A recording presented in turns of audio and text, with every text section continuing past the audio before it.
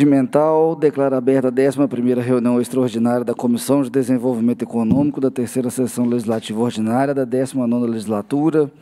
A presidência, nos termos do parágrafo 1 do artigo 132 do Regimento Interno, dispensa a leitura da ata da reunião anterior, considera aprovada e solicita sua subscrição.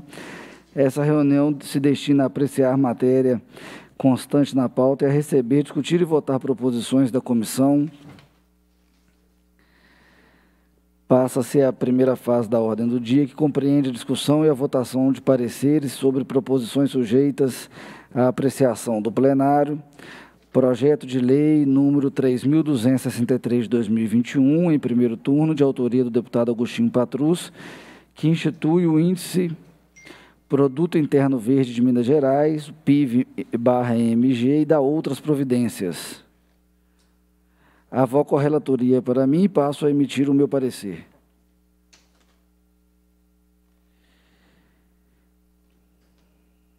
De autoria do deputado Agostinho Patrus, a proposição em análise institui o Índice de Produto Interno Verde de Minas Gerais e dá outras providências, distribuída na Comissão de Constituição e Justiça de Meio Ambiente de Desenvolvimento Sustentável e Desenvolvimento Econômico. A proposição foi apreciada preliminarmente pela Comissão de Constituição e Justiça que concluiu por sua juridicidade, constitucionalidade e legalidade. A Comissão de Meio Ambiente e Desenvolvimento Sustentável opinou por sua aprovação na forma original.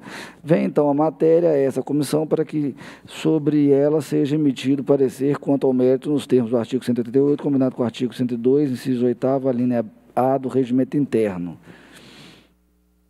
A proposição em análise pretende instituir o produto interno verde de Minas Gerais, cujos objetivos fundamentais são quantificar e valorar o patrimônio ambiental do Estado e sua variação anual, bem como a geração anual de serviços ambientais no Estado e valorar o resultado ambiental das atividades socioeconômicas. O PIB Minas Gerais terá periodicidade definida e sua implementação deverá observar o disposto da Lei Federal número 13.493 de 2017, que estabelece o Produto Interno Verde, o PIV. A proposição prevê, além disso, que as ações voltadas para a implementação do PIB Minas Gerais serão desenvolvidas em articulação com o Instituto Brasileiro de Geografia e Estatística, o IBGE. Em sua análise, a Comissão de Constituição e Justiça apontou que a proposição atende às regras constitucionais de competência e de iniciativa e destacou que, no âmbito estadual, a Fundação João Pinheiro, em conjunto com o BGE, já atua para o cálculo do Produto Interno Bruto de Minas Gerais, com resultados divulgados em dois níveis, né, o nível estadual e o nível municipal. Do ponto de vista econômico, é considerada a necessidade da comparabilidade entre o sistema de contas brasileiro e os adotados em outros países, condição exigida de forma expressa na lei federal. O IBGE desenvolveu o sistema de contas econômicas ambientais, com base nos trabalhos correlatos desenvolvidos pela ONU. Sobre, sobre isso, esclarece-se que o IBGE que o, esclarece que o IBGE o sistema fornece informações relacionadas a um amplo espectro de questões ambientais e econômicas, incluindo em particular a avaliação de tendências no uso e na disponibilidade de recursos naturais, a extensão de emissões e descargas no ambiente como resultado da atividade econômica e o volume de atividade econômica produzida para finalidades ambientais. Sendo assim, é desejável que o Estado de Minas Gerais se antecipe em termos de legislação por meio da articulação operacional entre a FJP e o IBGE ao contexto do desenvolvimento de uma metodologia harmonizada de cálculo de produto interno de produto interno ambiental estadual. Como conclusão, diante do exposto, opinamos pela aprovação do projeto de número 3.263 de 2021, na, forma, na sua forma original. Em discussão, parecer. Não havendo quem queira discutir o parecer, encerra essa discussão. Em votação, parecer. Os deputados que o aprovam permaneçam como se encontram. Aprovado o parecer.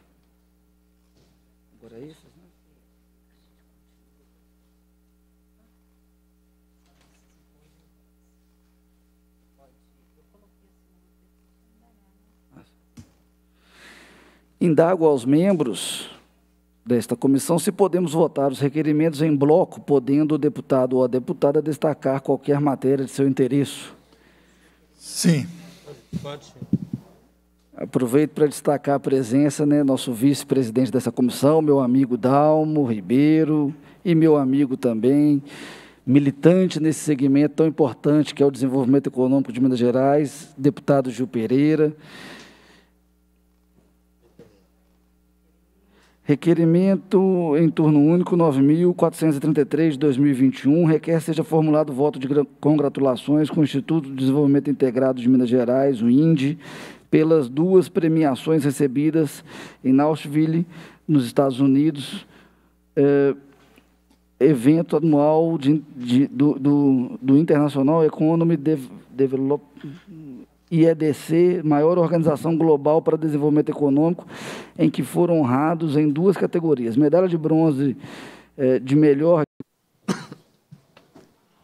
Um pouco antes de ocorrer a licitação vencida pela Audac, a CEMIG fez uma prorrogação excepcional do contrato que tinha com a AIC, contrato número 468-000-4808.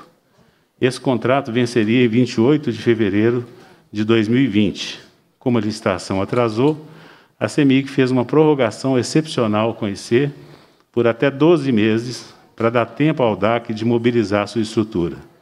Ou seja, a prorrogação excepcional não era necessariamente 12 meses, mas sim durante o tempo necessário para o DAC mobilizar. Pergunto: em algum momento durante a prorrogação excepcional do contrato com a CEMIG, de março de 2020 a fevereiro de 2021, a AIC recebeu algum comunicado da CEMIG com a intenção de rescindir o contrato e migrar os serviços de call center para a UDAC? Se sim, quando houve esse comunicado se o senhor poderia enviá-lo para a CPI e por que os serviços jamais foram migrados para o DAC? Deputado, eu, eu queria só pôr uma linha do tempo nesse assunto. Esse contrato, essa prorrogação do nosso contrato, ela foi solicitada em 2019, em mais ou menos em outubro de 2019, pela diretoria de suprimentos da CEMIG, do então senhor Polatti. Ele que foi que solicitou, ele a equipe dele solicitou a IC em outubro de 2019 a prorrogação do nosso contrato em até um ano. Então, a, naquela época, a CEMIG já prevendo né, licitação, que pode ocorrer atraso, pode retrar mandato de segurança, é normal que é um, é um, um serviço que não pode parar o atendimento. Em outubro de 2019 não tinha licitação da Audac, não tinha o, senhor Reinaldo, o Cássio não era secretário, nada disso. A CEMIG solicitou a prorrogação desse contrato, nós aceitamos, mantemos as mesmas condições do contrato, e aí sim, quando a licitação terminou, a gente entrou nessa transição. A CEMIG nunca nos comunicou nada da rescisão, mas nós estamos aguardando essa transição. Ficamos também no escuro, mas só que em contrato eu tinha obrigação de ficar em até um ano fazendo atendimento da população do Estado de Minas Gerais. É, então, o senhor está dizendo que durante a vigência desse, dessa prorrogação excepcional, nesses 12 meses, a CEMIG não fez nenhuma manifestação para a eh, no sentido de, de promover a passagem do serviço para quem tinha ganho a licitação? Nenhuma. É, eu imaginava isso. Porque parece claro que, de fato, nunca houve por parte da CEMIG a intenção de respeitar o processo licitatório. Por alguma razão, e a gente não tem dificuldade de imaginar quais, a CEMIG queria manter a AIC prestando esse serviço. Aliás, isso foi expressamente dito ao senhor João Polatti numa solicitação que recebeu, e ele citou, inclusive, os horários que recebeu os telefonemas, os WhatsApps, os e-mails por parte da direção da CEMIG, direção superior, que desse um jeito para a IC continuar prestando serviço.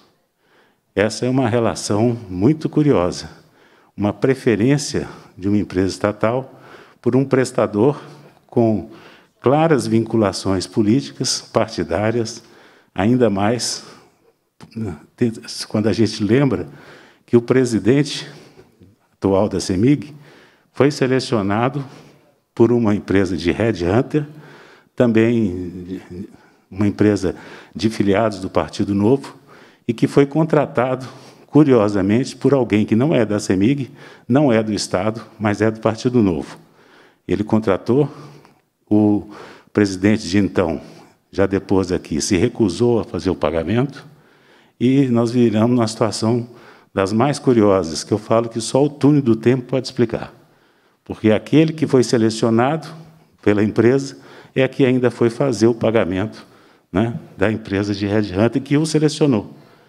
E essa empresa, curiosamente, senhor Guilherme, ela também apresentou uma proposta maior e depois esse membro do Partido Novo, que a contratou, falou para ele abaixar os preços, porque ele tinha propostas menores.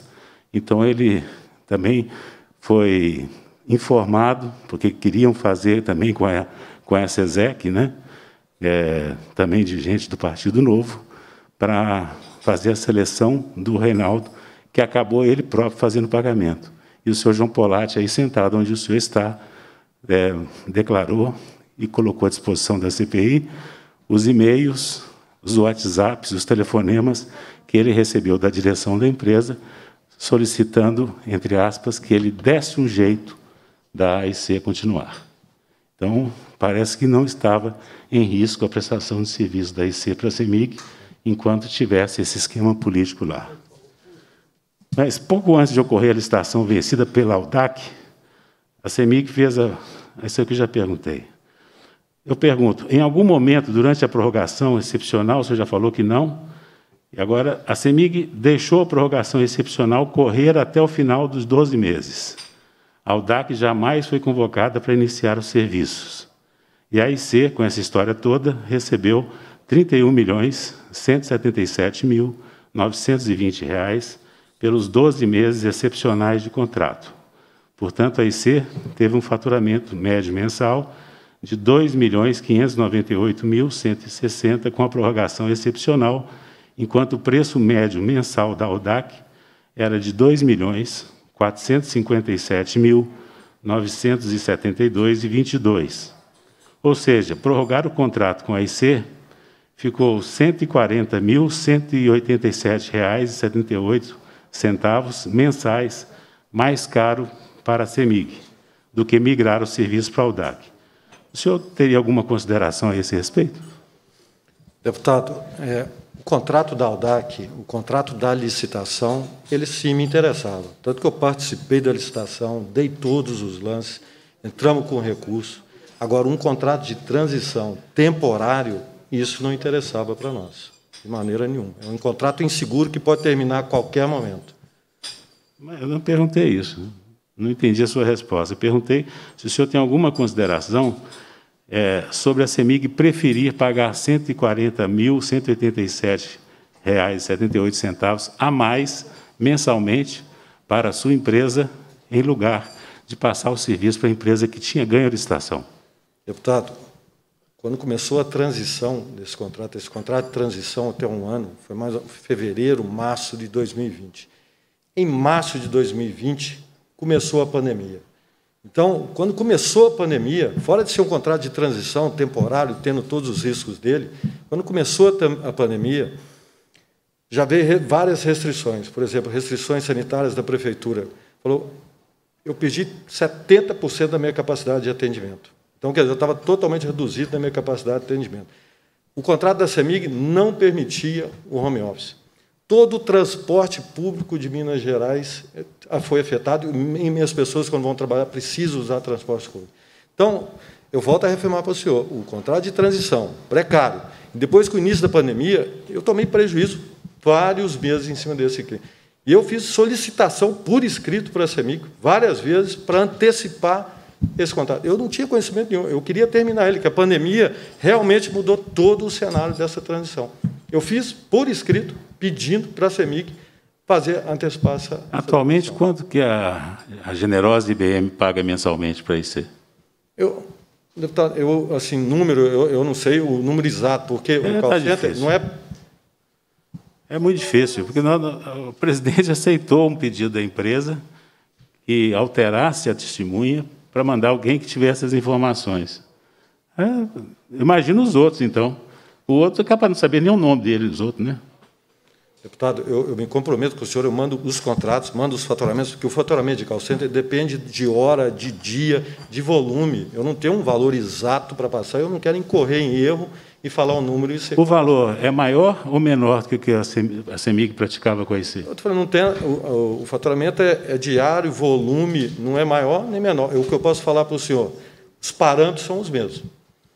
Informa... Nós recebemos da... os valores pagos pela IBM são maiores do que a CEMIG pagava para a IC. Os parâmetros são os meus.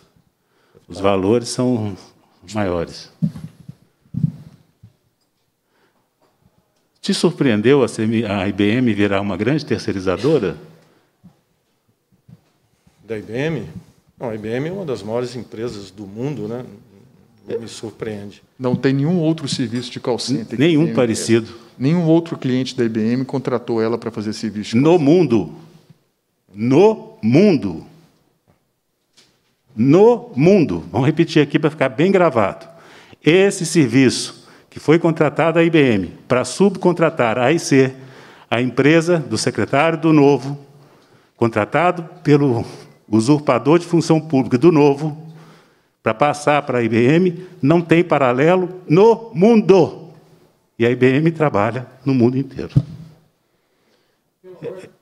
Pela ordem, deputado professor Cleito. É, dentro dessa questão, a minha pergunta é simples.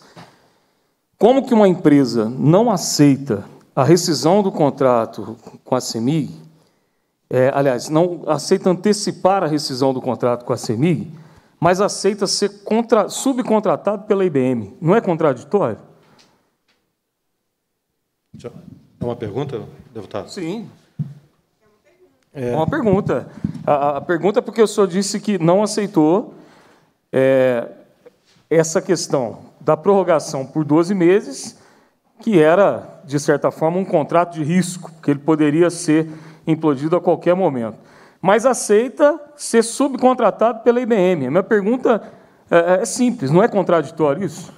Não, deputado, eu vou reafirmar. É o contrato, de, a prorrogação do nosso atendimento após o final do nosso contrato, ele foi negociado e foi a pedido da CEMIG em outubro de 2019. Não tinha AUDAC, não tinha licitação, não tinha o Cássio não era secretário, não tinha o senhor Reinaldo não era o presidente, não tinha nada disso. Era o senhor Polatti que estava lá e solicitou, e corretamente, porque precisa de um contrato para dar essa transição depois da, da, da, licitação. Então, eu não tinha, eu aceitei isso lá atrás, porque eu tenho um compromisso com o meu cliente de, de permanecer o atendimento. Então, terminou o contrato, nós entramos na prorrogação.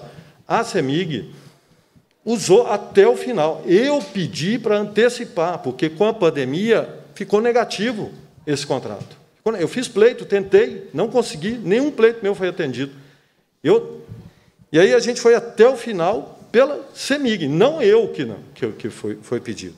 Então, na hora que veio, em dezembro, acho que foi dezembro de 20, que aí a, a IBM falou que procurou e falou que tinha feito a parceria estratégica com a CEMIG. Como é que chama?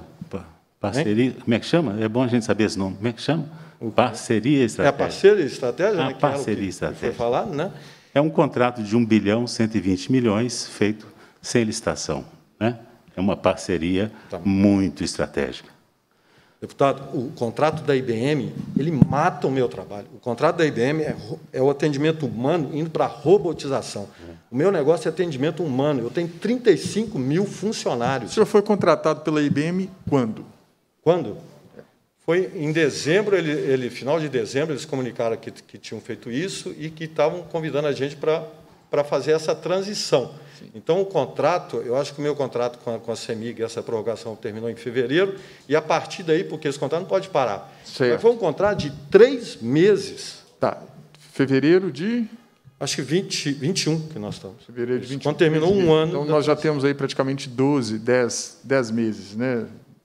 Nove meses. Sete meses, né? Seis nove meses. Nove meses.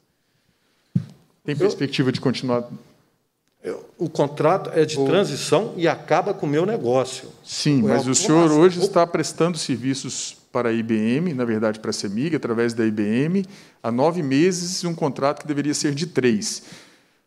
Hoje, qual é o contrato vigente da AIC com a IBM? É um contrato de transição que começou com três meses, podendo ser renovado, foi renovado por esses três meses, por necessidade deles, não minha. Eu, eu Claro. continuo te dizendo. Estou entendendo.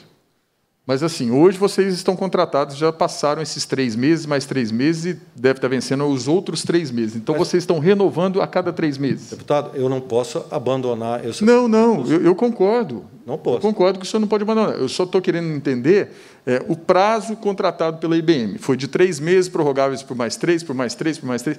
Nós estamos aí praticamente na terceira prorrogação, na segunda prorrogação, né, de três meses, que está inteirando nove meses.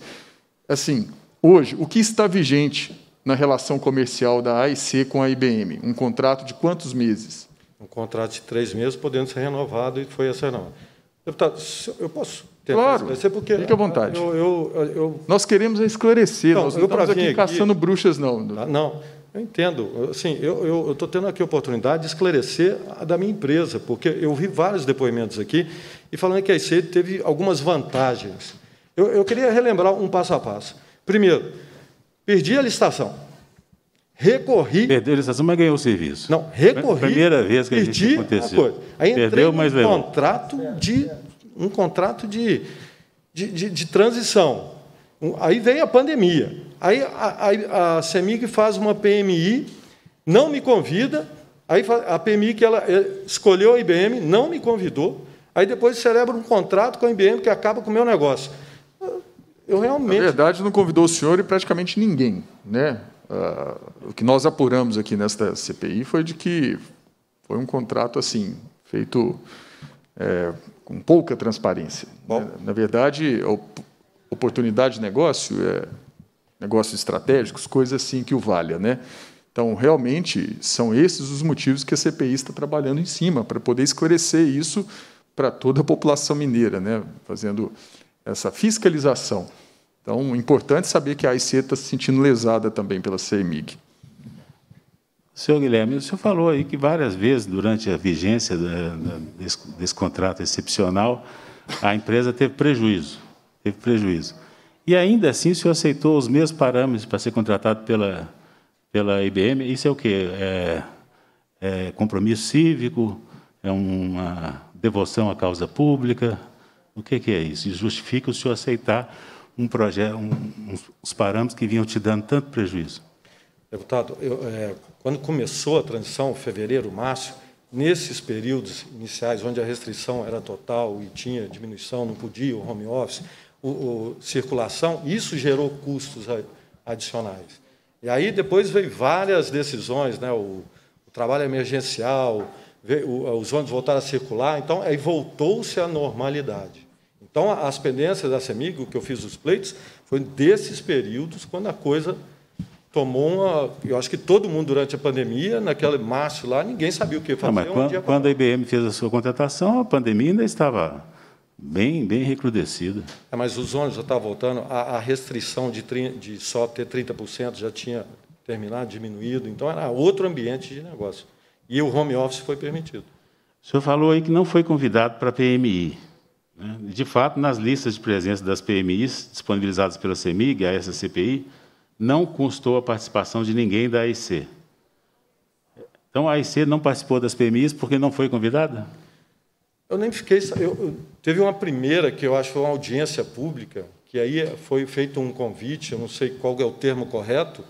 A gente fez uma pequena apresentação do que, que Eu acho que o tava- termo correto é maracutaia, sabe? É uma opinião minha. É, eu não fui assim participar dessa PMI que foi escolhida a IBM, nós não tínhamos nem notícia. Nas listas de, de, de, eh, se a IC não participou das PMIs, como ela ficou sabendo do projeto Omnichannel? Ela teve informação privilegiada e por isso nem participou dos eventos? Então, eu, eu participei só dessa PMI, não falou desse projeto, e eu fui tomar conhecimento desse projeto Omnichannel e tudo, foi em dezembro de 20, quando a IBM que comunicou e falou, fizemos essa parceria, e nós estamos para fazer essa transição. Só isso, eu não sabia nada. dezembro, pela ordem, dezembro de 2020, só para informação, seu Cássio Azevedo, seu sócio, já tinha sido anunciado como secretário de Desenvolvimento Econômico do governador. É, perdão, relator, devolvo a palavra. Não, muito pertinente a observação. Se a contratação do projeto de Omnichannel tivesse ocorrido por meio de licitação pública, a AIC teria participado do certame? Eu, eu, não conheço o projeto como um todo, porque depois eu vi nessa CPI que eu acho que tinha 14, tem loja, tem tudo, eu, eu precisava entender. Mas vocês têm expertise para a prestação desse serviço? O caminho do nosso setor está indo para ter o atendimento humano junto com tecnologia. Senhor, senhor, senhor Guilherme, eu, deixa eu ser muito claro. Essa, essa, essa sociedade estratégica, esse parceiro estratégico, não há nenhuma, nenhuma empresa no mundo que tivesse feito um projeto semelhante. Nem a IBM jamais fez em lugar nenhum do mundo, nem a AIC, nem a UDAC. Então, não se trata de saber se o senhor tinha ou não experiência para isso, porque ninguém tinha experiência para isso. Nunca tinha sido feito colocar debaixo do mesmo pacote, debaixo do mesmo guarda-chuva, coisas tão diferentes como foi feito nessa parceria estratégica com a IBM. Então, a, a, questão é a seguinte: se o senhor fosse chamado, o senhor participaria, mesmo sem ter expertise, como a IBM participou sem ter expertise, sem ter experiência pretérita, e como, aliás, parece que só a IBM que teve é, o, o privilégio de ser lembrada para fazer essa proposta e assumir esse. Deve estar tomando muito prejuízo também 1 bilhão 120 milhões de reais num contrato sem licitação, mas provavelmente ela também aceitou por devoção à causa pública e para fazer um Estado eficiente. Né?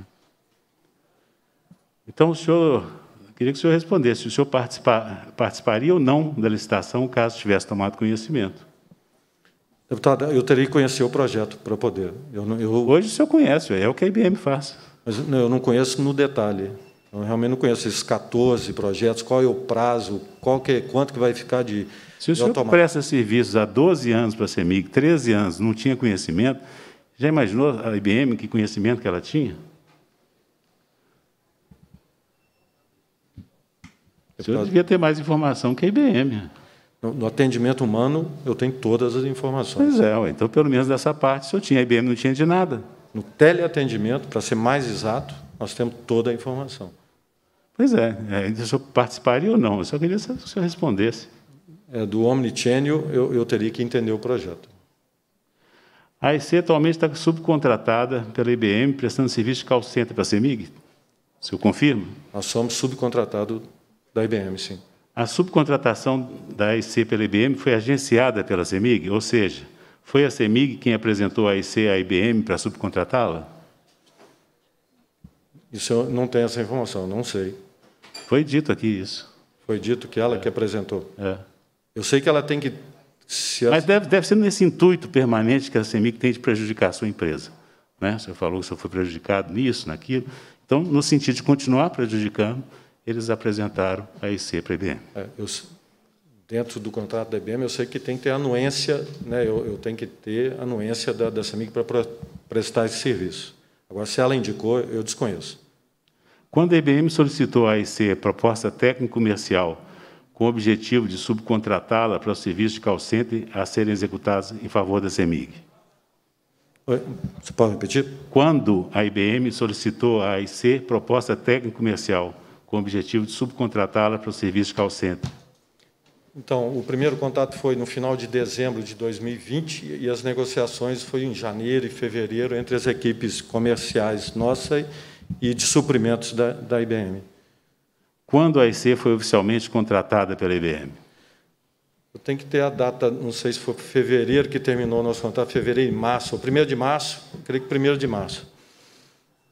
Por enquanto são essas perguntas, senhor presidente.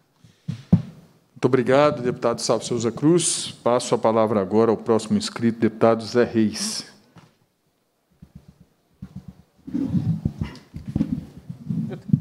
Senhor presidente, nobres colegas, é, quero aqui cumprimentar todos que nos assistem, o senhor Ricardo da mesma forma. É, senhor Ricardo, Antônio Guilherme, perdão. É, é, quanto, quais as credenciais que a EIC tem na área de call center? Quantas? Só para repetir. Quais, quais as credenciais? Ah, então, a, a, nossa empresa, eu e o Cássio fundamos ela em 1992. Nós éramos uma empresa de tecnologia. E mais ou menos em 1999, é, com a privatização das teles, a gente viu uma oportunidade de começar o atendimento. E aí começamos a trabalhar em Belo Horizonte e começamos a atender as empresas locais aqui de Minas. É, mais ou menos em, em, chegamos a ser o maior empregador da cidade de Belo Horizonte. Aí depois fizemos um projeto para interiorização em Minas Gerais. Fomos para a cidade de Montes Claros e Governador Valadares. Com certeza somos um dos dois maiores empregadores na cidade de Montes Claros. Devemos também ser um dos maiores empregadores na cidade de Governador Valadares. Depois nós fizemos um projeto para ir para o Nordeste, mas a gente não foi para as capitais do Nordeste, a gente foi para as segundas cidades do Nordeste, por causa de não concorrer com a indústria do, do turismo. Aí fomos para Campina Grande, fomos para João Pessoa, que era uma capital menor, somos hoje o maior empregador do estado da Paraíba. Depois nós fomos para Mossoró, depois nós fomos para Juazeiro do Norte, depois nós fomos para Arapiraca, nós estamos presentes em São Paulo, nós estamos presentes no Rio de Janeiro e também em Belo Horizonte. Nós, nós fornecemos no atendimento para telecomunicações, para todos os bancos, os maiores bancos, as principais empresas de tecnologia, na área de saúde, varejo, temos por volta de uns 80, 90 clientes. E temos hoje por volta de 35 mil funcionários. E, durante a pandemia, 2021, conseguimos contratar 10 mil novos colaboradores, que equivale, para a gente falar aqui, quase 15 vezes o contrato que a gente tem com a CEMIG. Então, a gente tem expertise total em atendimento. Hoje nós somos a primeira, a maior empresa nacional no segmento. A gente concorre com empresas espanholas, italianas, francesas, mas a brasileira nós somos a referência. Se eu entendi, em termos de, se fôssemos falar de ranking, em termos das principais empresas a nível Brasil, a IC hoje está, estaria posicionada em primeiro lugar? Nós estaríamos, aí tem que ter a, a visão, em faturamento estaríamos entre as três primeiras. E, e, tudo isso que o senhor, o senhor, disse, existe premiação, existe algo do tipo que mede essa eficiência a nível de mercado? Tem o prêmio, nós, nós já ganhamos a melhor empresa do ano, vamos ganhar também a melhor empresa do ano em atendimento nesse ano. E temos também uma, uma premiação que é muito interessante, que é a, é, chama Época 360. A Época 360 são todas as empresas, não é empresa de calcença, são as melhores prestadoras de serviço. Nós, já quinto ano consecutivo, que a gente entra na, na área de serviço como a melhor empresa de serviço do Brasil. Quinto ano, Época Negócio, com a Fundação Dom Cabral. É, eu tenho aqui em mãos um quadro comparativo realizado pela nossa assessoria, é, do histórico da, das contratações de call center pela CEMIG. E, e pelo que checo aqui, a IC presta serviço à CEMIG desde 2008, desde 2008, precisamente junho de 2008, da qual participou de várias licitações e dentro da companhia, inclusive teve, é, teve aditivos sucessivos, contratuais nesse período. É, queria que você, de forma rápida, me relatasse esse histórico do relacionamento da IC com a CEMIG. CEMIG a gente, é, é muito importante para nós, porque em 2008 a gente estava começando a crescer. Foi uma grande empresa né, que a gente ganhou uma licitação e atender a CEMIG você tem um reconhecimento nacional. A primeira licitação que nós pegamos foi um pregão eletrônico presencial. E, e, e, quem era a empresa que atendia antes era a Contex. A Contex era de propriedade da Andrade Gutierrez, que era acionista da CEMIG. Nós fomos num pregão presencial, ganhamos essa primeira concorrência. Na segunda... Isso em 2008, né? 2008. Eu não, aí depois acho que foi até 2013, aí teve os contratos emergenciais para essas transições, E aí depois nós ganhamos um pregão eletrônico, e aí até eu vi o representante da Audac aqui lembrando que ele ficou em segundo lugar nesse pregão eletrônico. E a gente foi a, e depois a gente perdeu esse outro pregão eletrônico. E o senhor, o senhor Cássio Azevedo, pelo que já, inclusive, já falado, se desligou e estava afastado das suas atividades executivas na ICER durante o período em que esteve à frente da Secretaria de Desenvolvimento de Governo, que o senhor respondeu, mas não ficou muito claro se foi, né, se coincidiu ou se foi antes esse afastamento. Ele afastou, ele afastou da IC em 2019, ele chegou e me conversou comigo, falou, Guilherme, estou saindo, e aí saiu definitivamente no finalzinho de 2019. Ele não era secretário. Quanto o pregão que ocorreu em fevereiro de 2020, identificamos também que a UDAC venceu, né? E qual é a, a, pelo que você sabe, para efeito de mercado, qual é a tradição da UDAC na área de call center? Deputado, eu, eu, não, eu não tenho muito conhecimento da UDAC. Eu sei que ela é em São Paulo, né, é em Poá, mas eu realmente não. No, por exemplo, eu sou vice-presidente da ABT, que é a Associação Brasileira das Empresas de Teleserviço. Todas as empresas de call center, que, que tem o Probar e tem tudo, fazem parte dessa associação. A Audac não faz parte dessa associação, mas aí eu não sei se ela cobrança, alguma coisa, mas eu, eu, eu realmente não, não, não sei informar sobre a Audac. E pelo que a gente consta aqui, qualquer Google, como se diz aqui, a gente identifica que a Audac é uma empresa especializada em cobrança. E, ainda assim, ela não estava vinculada, afiliada à associação que representa as, as empresas de call center. Né? Não está. É, como se deu o pregão eletrônico de licitação realizado em 2020? É, é, explica essa, essa, o que de fato essa questão do, do modo rondômico, rondômico, como que isso é, é, se deu? É, assim, eu não sou técnico assim, já participei lá dos primeiros programas eletrônicos. O que acontece é que você cadastra a sua proposta, acho que você tem uma, né, tem que ter alguns cadastros dentro da CEMIC para poder fazer parte, indicadores econômicos, etc. Marca o dia do pregão, você lá faz o cadastro da sua proposta, daquele valor que você tinha colocado. O pregão abre, fica ali meia hora parado, depois abre por um momento, acho 15 minutos para lance, todo mundo fica meio parado e depois tem um randômico. E aí vai dando lance. Aí por isso que essa diferença de 500 reais e tudo, porque aí vira uma sorte, né? Você dá 500 reais a menos, o outro vem dar 500 a menos, o outro a menos, o outro a menos, até um limite, é claro, cada empresa tem seu limite, e aí ele para. Aquele último que deu o lance ficou. Aí você estava dando esse lance de 500 reais e ela finalizou com a Audac ganhadora. Então, essa modalidade do modo randômico ela não permite que os demais que estão ali participando possa cobrir aquele valor, porque o encerramento não, é... encerrou, encerrou, acabou. E você não vê quem está dando o lance também, você só vê o seu e o lugar que você está. Você não sabe quem está dando os lances. Hum, certo. Essa diferença de 500 reais, ela, ela é avaliado, é um valor baseado no montante do contrato de, de, de quase de 88 milhões?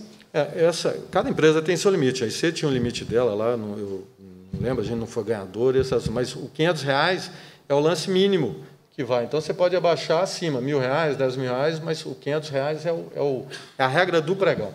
E aí o valor mínimo era o 500 reais que ficou... Nesse lance é, aí, nessa, nessa briga aí final aí.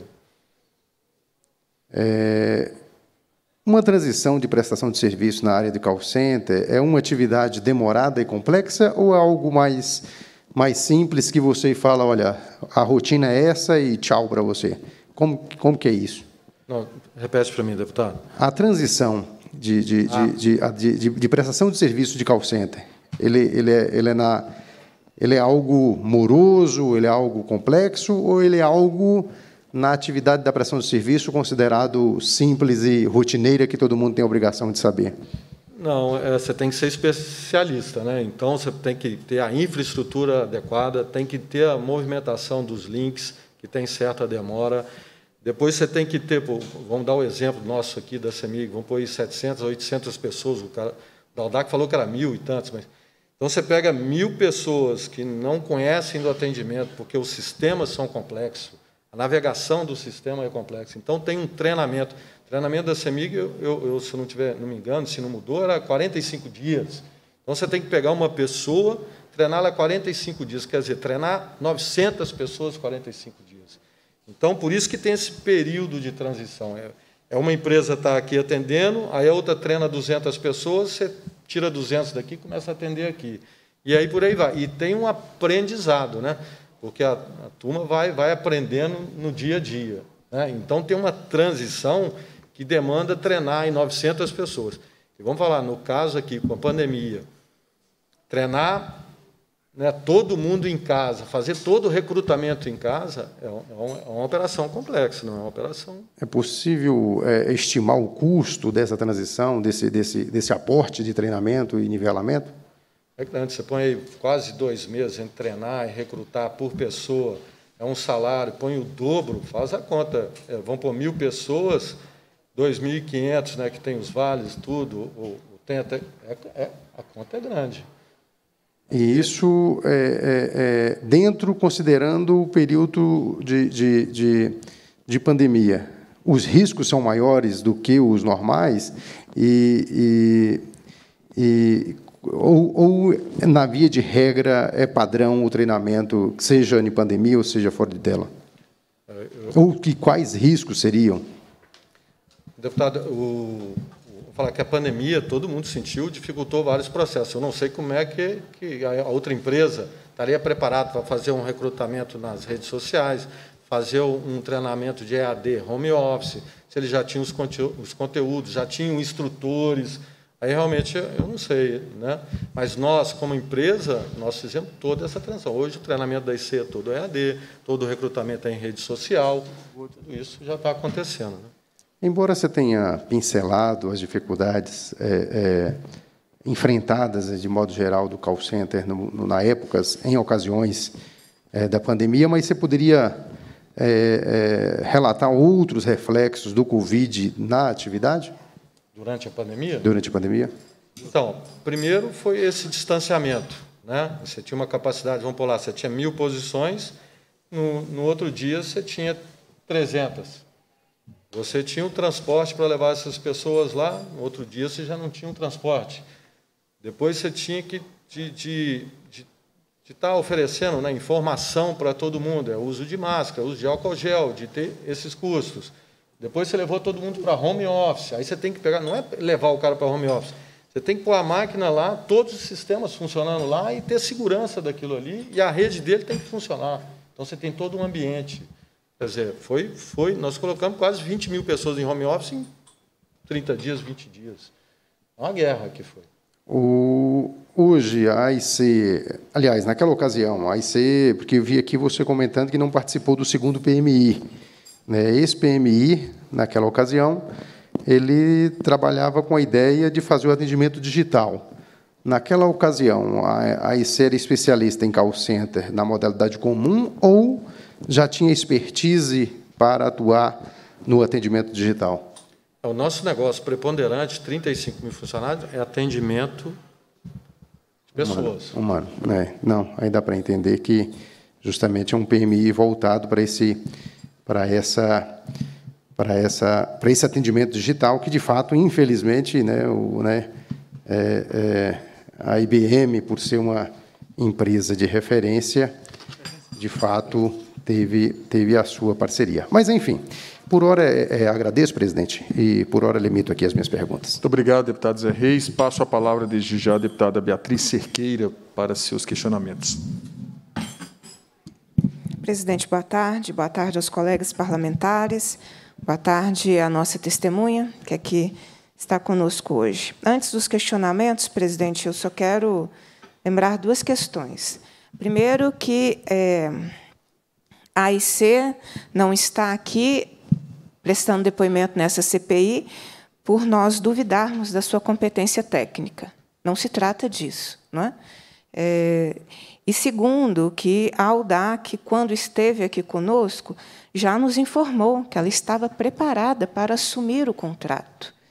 A Audac não ter assumido o contrato foi uma opção política é, da atual direção da CEMIG, onde nós passamos, durante vários momentos dessa CPI, a questionar exatamente o comportamento da direção da CEMIG em privilegiar quem perdeu a licitação em detrimento daquela que ganhou a licitação.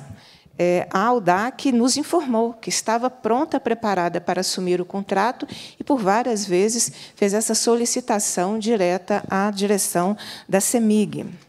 Então, não se trata de nenhuma discussão de competência técnica é, da, da IC.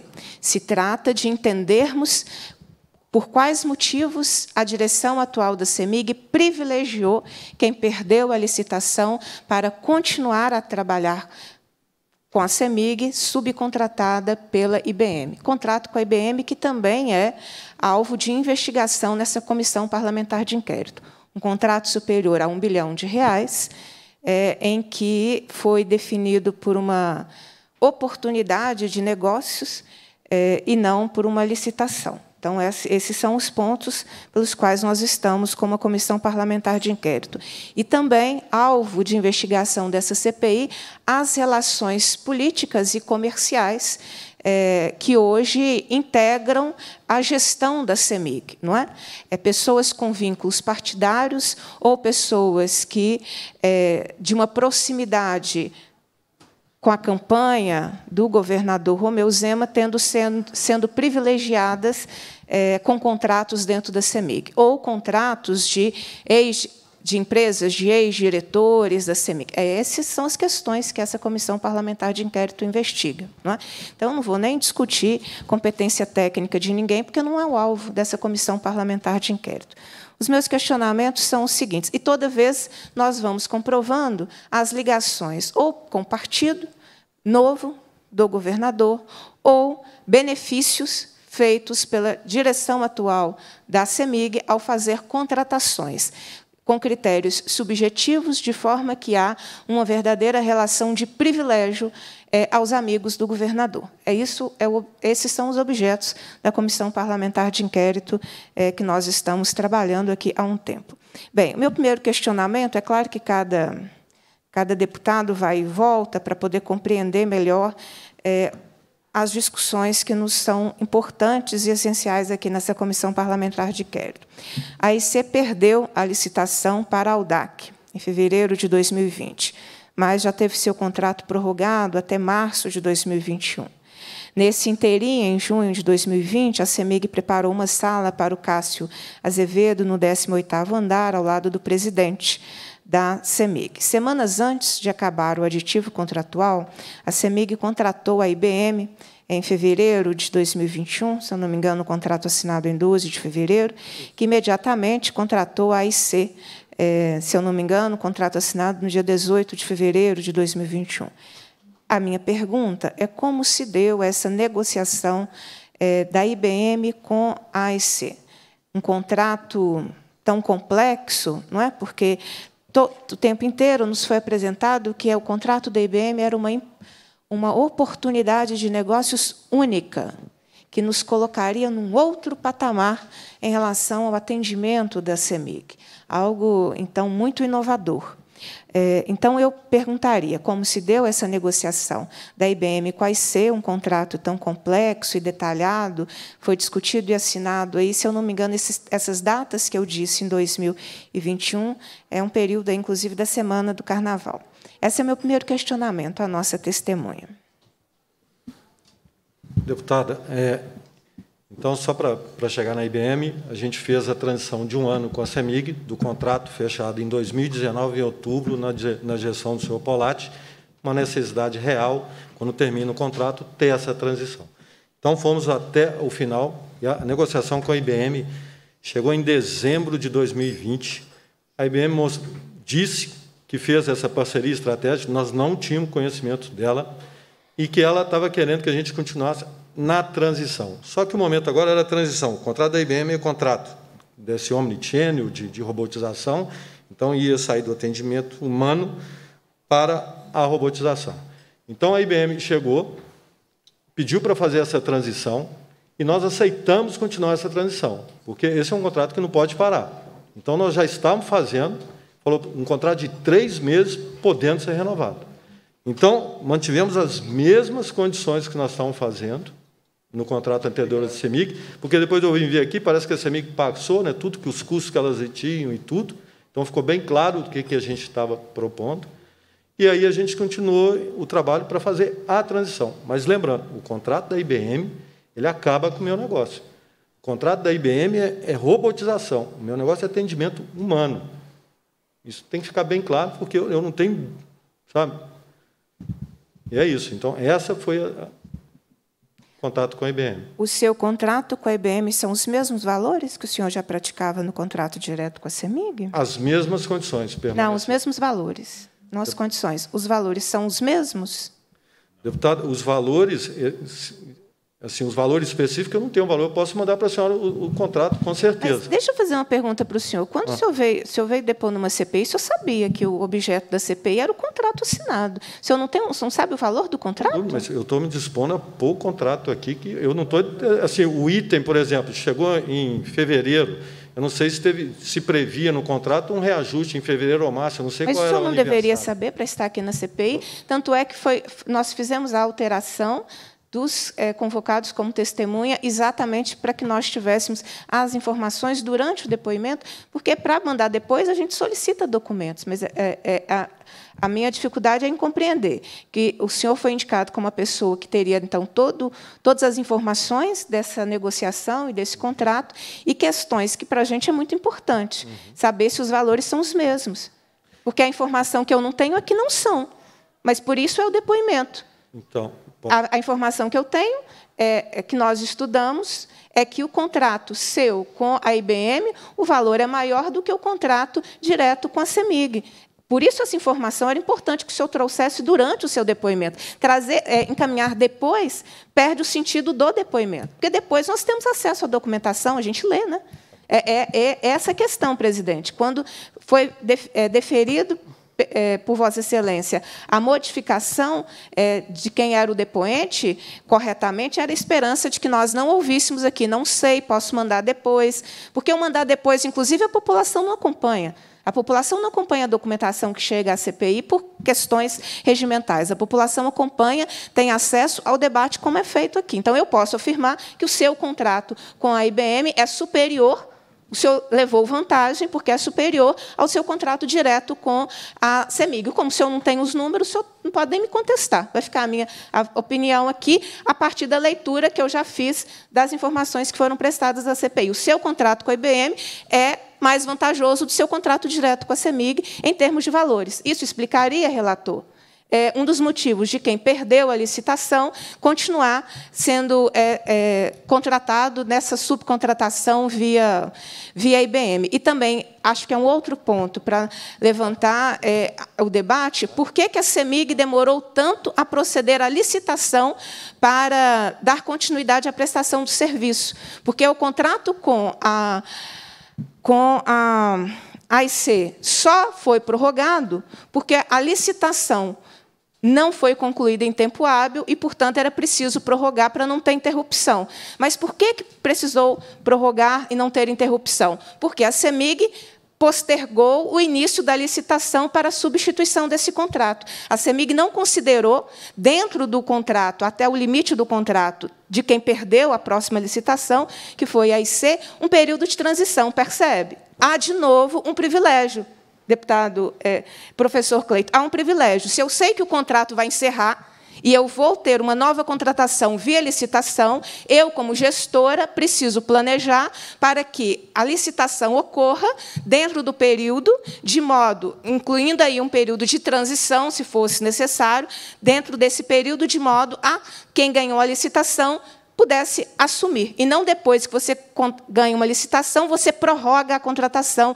de quem perdeu a licitação fica é, evidenciado, relator, que havia, por parte da direção atual da CEMIG, a intenção da continuidade. Por isso, ela não se deteve nessa questão, que é básica. É básica. Eu não preciso ser de mercado para compreender que você tem que planejar as coisas antes que o contrato termine, de modo que tudo esteja resolvido e que a, quem ganhar a licitação dê a continuidade ou que tenha período de transição necessário. Não foi feito. Então, a AIC foi privilegiada em manter um, em ter uma prorrogação prorrogação de contrato, diferente do que foi dito aqui, tive prejuízo, foi tudo muito difícil. Não, ela teve uma prorrogação de contrato, que ela era desnecessária se a CEMIG tivesse feito um planejamento correto, com a licitação no tempo correto para a vencedora assumir. E a vencedora poderia ter assumido o contrato e depois poderia ter feito qualquer outra posterior negociação com a IBM, que não considerou a vencedora, mas a perdedora na licitação. Nós não estamos discutindo competência de empresa aqui. Nós estamos discutindo quem ganhou a licitação e quem perdeu a licitação. Isso não foi uma pergunta. Né? É, deputada, se me Sim. permite, até para a gente entender aqui, é, primeiro quero reiterar e quero lembrar a data de prorrogação do contrato coincide com a indicação do senhor Cássio Azevedo como secretário. É, essa é uma linha do tempo importante. Mas dentro da, da sua fala, já que não se sabe o valor, mas pelo menos é, como que a forma de remuneração da AIC no contrato firmado com a IBM? É igual ao que era celebrado com a CEMIG? Ou seja, por postos de atendimento por hora logada? Deputado, sim. Sim. É, é, qual que, então, isso aí o senhor vai saber me responder. Qual que é o valor unitário médio do posto de atendimento por hora logada que a IC está recebendo da IBM? Deputado, valor, eu, eu não tenho a firmeza do valor, mas... É superior a R$ 23,58 ou é superior ou inferior a R$ 23,58? Não sei informar. Vai ficar difícil, presidente. É, é, essa é uma questão básica, elementar dentro desse contrato é que depois a gente precisa dessa informação. Vou dizer por quê. Porque se fosse superior a 23,58, a AIC está cobrando da IBM um preço superior ao que a UDAC ofertou na licitação de março de 2020.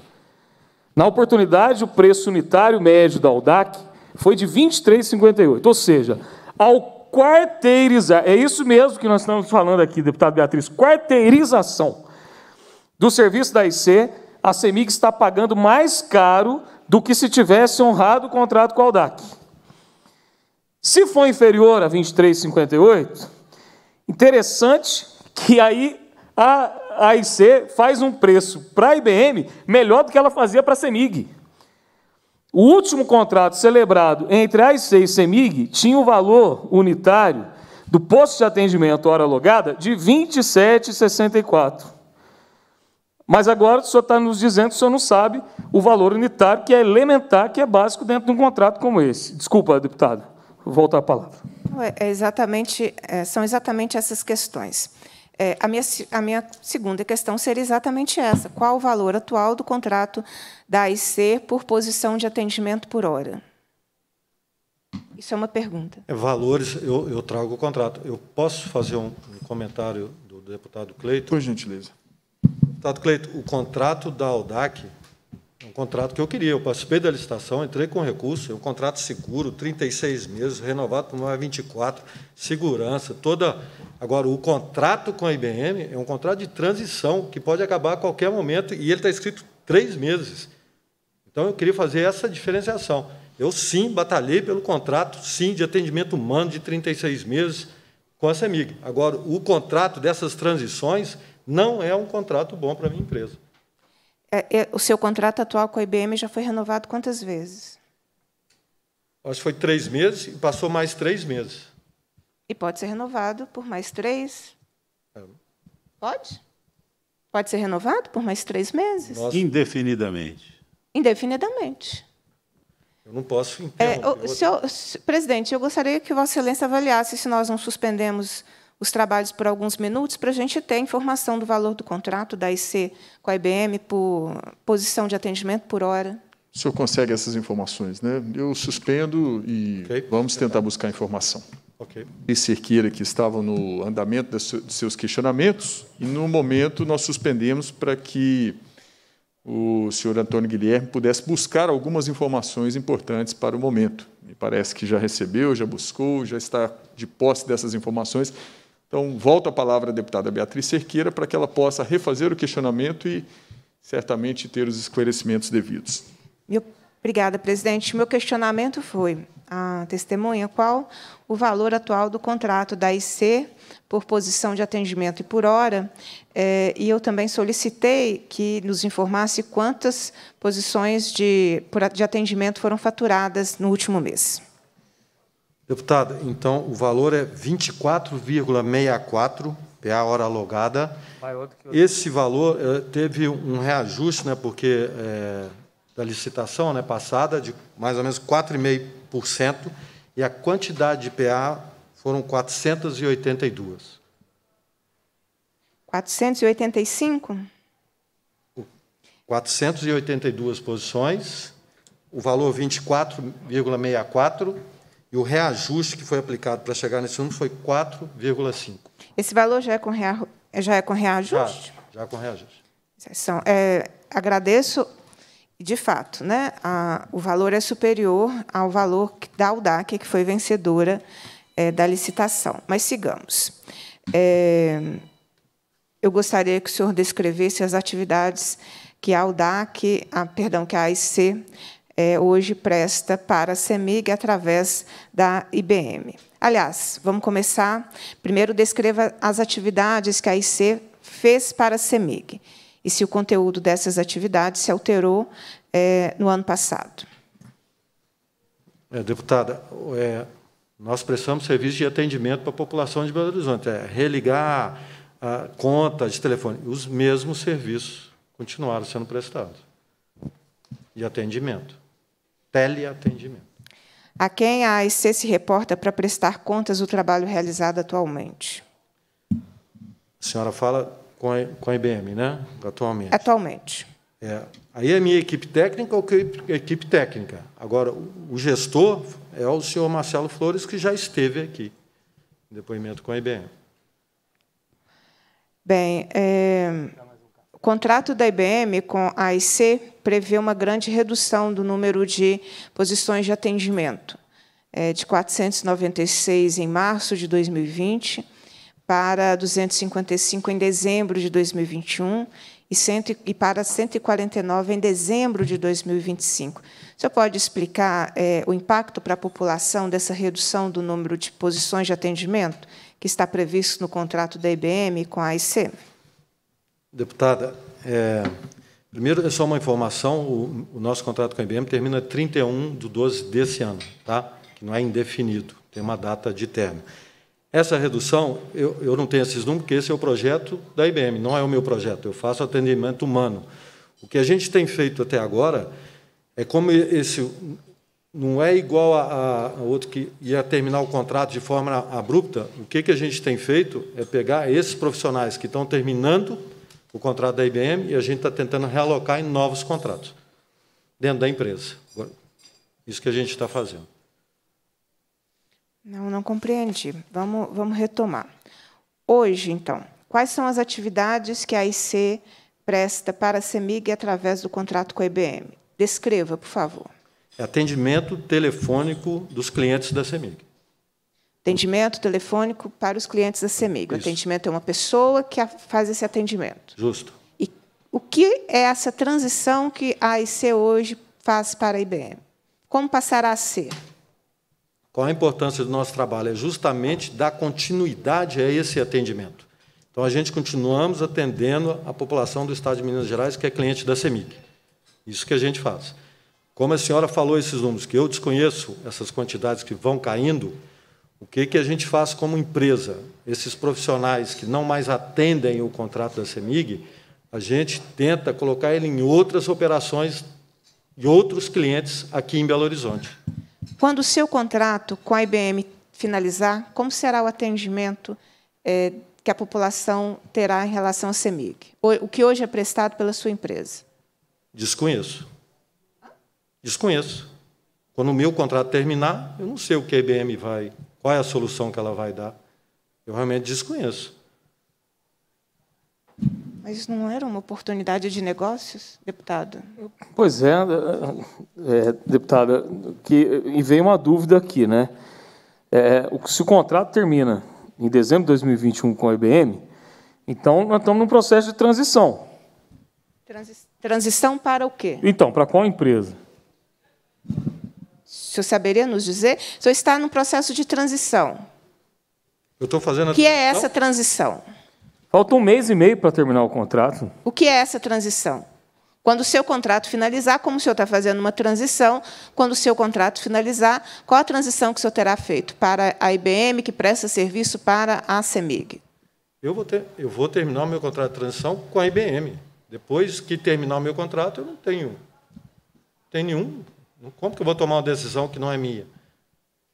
Realmente não entendi. Acho que nós é que não entendemos, mas aí não é com o senhor, na verdade, nem com a AIC. É, a princípio, são esses questionamentos, presidente. Muito obrigado, deputada Beatriz Cerqueira. Passo a palavra ao deputado professor Cleiton para seus questionamentos. É, presidente, eu queria reconstruir aqui uma linha do tempo reconstruir também algumas informações que foram trazidas a essa CPI em oitivas anteriores que eu acho é, que são importantes. Bom, sobretudo dentro daquilo que está sendo discutido aqui. Primeiramente, me desculpem, boa tarde, presidente, boa tarde, nobre relator, deputado Zé Guilherme, deputado Zé Reis, deputada Beatriz Cerqueira, nosso decano, doutor Eli Tarquínio, a todos os membros aqui uh, dessa consultoria da CPI, pessoal da TV Assembleia e uh, toda a comunicação aqui da nossa Assembleia, aqueles que estão participando, é, doutor Tarso, sempre presente aqui, nobre depoente, seu advogado. Uh, vamos então a essa linha do tempo. No dia 17 de 2 de 2020, pregoeiro da CEMIG, ele declara a Aldac como vencedora da licitação. No mesmo dia, a AIC interpôs um recurso administrativo contra a vitória da Aldac. Três dias depois, no dia 20 de fevereiro de 2020, a AIC envia para a CEMIG a sua chamada tese recursal. O recurso vai ficar em análise até o dia 4 de março de 2020, quando a comissão de licitação da CEMIG negou o provimento à AIC. Nesse ínterim, o gerente da AIC, o senhor Geraldo Parrella, procura o diretor de suprimentos da CEMIG, em nome do senhor Cássio Azevedo, são informações que nós temos, proprietário, um dos proprietários da IC, e, naquela ocasião, secretário do Estado de Minas Gerais, para uma reunião a respeito do recurso interposto. Também nesse período, o presidente da CEMIG, o senhor Reinaldo Pazanese Filho, faz ingerências sobre o diretor de suprimento da CEMIG, o senhor João Polatti, que aqui esteve, e abre aspas para o senhor João Polatti, é, quando ele diz que o presidente da CEMIG lhe diz o seguinte: tem que cancelar esse processo licitatório, que a UDAC não pode vencer. E ele, resistente, escuta deputado Sávio Souza Cruz, o presidente da CEMIG. O senhor esqueceu quem manda aqui, fecha aspas, para o presidente da CEMIG e para o senhor João Polatti. É, então, há uma tentativa clara de tentar alterar o vencedor da licitação. A área de suprimentos da CEMIG, que não cede a esses fatos, mantém a UDAC como vencedora da licitação e depois o resto a gente sabe é, da história. Vem aí essa parceria que a gente está tentando entender. Que parceria é essa que foi feita com a IBM? Porque a IBM ela vai subcontratar uma série de empresas que já prestavam serviço para a CEMIG. Inclusive a própria AIC, diga de passagem, não sei se o senhor acompanhou, nobre depoente, é, a oitiva do antigo presidente da CEMIG, doutor Bellini, que inclusive reclamou muito dos serviços prestados pela AIC. Você deve ter acompanhado aí. É, nós, então, queremos entender algumas coisas, algumas perguntas que foram feitas anteriormente me contemplaram, mas aqui uma dúvida. É, como ocorre atualmente o faturamento pela AIC do serviço de call center? A AIC fatura o serviço para a IBM ou para a CEMIG? Deputado, a AIC tem contrato com a IBM e fatura a IBM. Para a IBM. Então, conclusão aqui, tem um problema. nós temos uma bitributação no serviço. Seria isso? A IC fatura o serviço para a IBM e essa depois fatura para a CEMIG? No final das contas, a CEMIG está pagando duas vezes os impostos sobre o serviço? A pergunta. Eu presto serviço para a IBM e faturo para a IBM. Então, que era uma pergunta, eu transformo numa afirmação minha aqui. Para que é, é, conste no relatório. Nós estamos diante de uma quarteirização, e essa quarteirização está gerando, inclusive, serviços, aliás, é, despesas bitributárias. É, desconstruindo essa narrativa de, de economia aqui. É, qual que é o montante financeiro faturado pela IC à IBM, referente a esse projeto de Omnichannel com a CEMIG? Deputado, pode repetir para mim? Qual é o montante financeiro faturado pela AIC à IBM, que é referente a esse projeto de Omnichannel? Deputado, com a CEMIG? É, deputado, eu não tenho um valor, né? Acabei de passar o valor unitário, né? E tem a quantidade aqui, mas depende muito do mês. Tem as quantidades variam pelo volume de atendimento. Então, se eu quiser, eu posso levantar também todos os valores faturados pela IC contra a IBM. Não, não precisa ser agora. Eu gostaria, nós gostaríamos, eu particularmente gostaria é, é, que, fosse, que nos fosse enviado então posteriormente, até para que a gente continue com alguns estudos aqui que para nós são importantes. É, a AIC está subcontratada pela IBM para outros serviços além dos de call center, quais seriam esses serviços? Não, não tem nenhuma outra subcontratação. Para Omnichannel, não? Não. É, a plataforma Robinson, desenvolvida pela IC, faz parte do escopo subcontratado pela IBM para o contrato firmado com a CEMIG? Não. Não, não faz? Não faz. É, uma das justificativas apresentadas pela CEMIG para o projeto Omnichannel é que o serviço, na forma como era prestado, era muito ruim. Mas se era muito ruim com a IC, que está na CEMIG há mais de décadas, nos faça entender por que, que a IC ela é subcontratada pela IBM. É meu serviço com a CEMIG e agora prestando serviço para a IBM é de teleatendimento. É, não foi essa a pergunta. A pergunta é, é o seguinte: a IC é, concorda que o serviço era muito ruim, que o serviço que era prestado para a CEMIG, conforme nos disse o presidente anterior, é, mas se era muito ruim com a IC, que está na CEMIG há mais de década, mudando aqui um pouco a pergunta. Por que, que logo a IC foi subcontratada pela IBM? É, o meu serviço é de teleatendimento, a gente segue estritamente os parâmetros do contrato e da lei. E o senhor Bellini, que fez esse comentário, nunca, quando na gestão dele, nunca recebemos nenhuma reclamação por escrito vindo da parte dele. Então, meu serviço de teleatendimento é feito teleatendimento. É isso que eu Tá ok. É, é, outra pergunta. O contrato firmado é, pela CEMIG com a IBM diz que, doravante, todos os softwares necessários para o Omnichannel deverão ser da IBM e contratados pela CEMIG. Ou seja, a CEMIG ficou obrigada a comprar softwares somente da IBM. É, deputado Sábio Souza Cruz, presidente, isso é uma informação altamente relevante. Eu vou repetir. É, nesse contrato, contrato de parceria ou de oportunidade de negócio para a IBM, é, todos os softwares necessários para o Omnichannel deverão ser da IBM e contratados pela CEMIG. Ou seja, a CEMIG ficou obrigada a comprar softwares somente da gigante IBM. É, inclusive, esses dias eu ouvi aqui na casa que essa CPI está muito audaciosa, porque está comprando briga com a IBM. É quem compra briga com a IBM, doutor Eli? Nós. Nós estamos comprando. Briga no bom sentido, porque nós queremos entender o que, está se passando é, com a nossa estatal. E a IBM, apesar de ser uma gigante, ela não está acima do bem e do mal. É, aí a minha pergunta aqui. No caso da quarteirização do serviço de call center, AIC, é a CEMIG quem está pagando pelas licenças de softwares que a AIC está utilizando? Deputado, eu faço o serviço de atendimento, atendimento humano.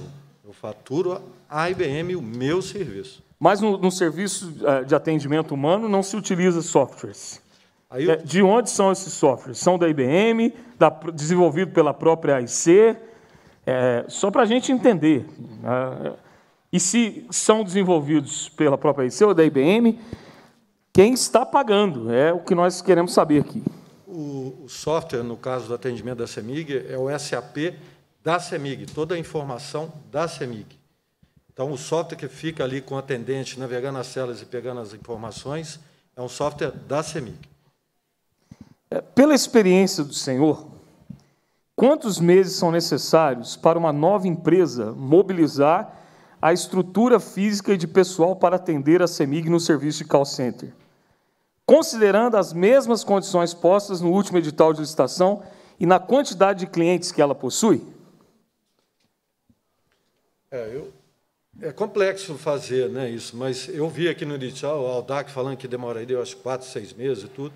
Eu acho que um tempo necessário, uns quatro a seis meses, com a pandemia, poderia ficar um pouco mais, porque tem que treinar 900 pessoas, 45 dias. Né? Essas pessoas melhoraram o atendimento no início. Então, tem uma transição grande nesse sentido. Então, o senhor acha que é superior a três meses? Ah, sim. É, então, queria chamar a atenção para um detalhe aqui. Ó.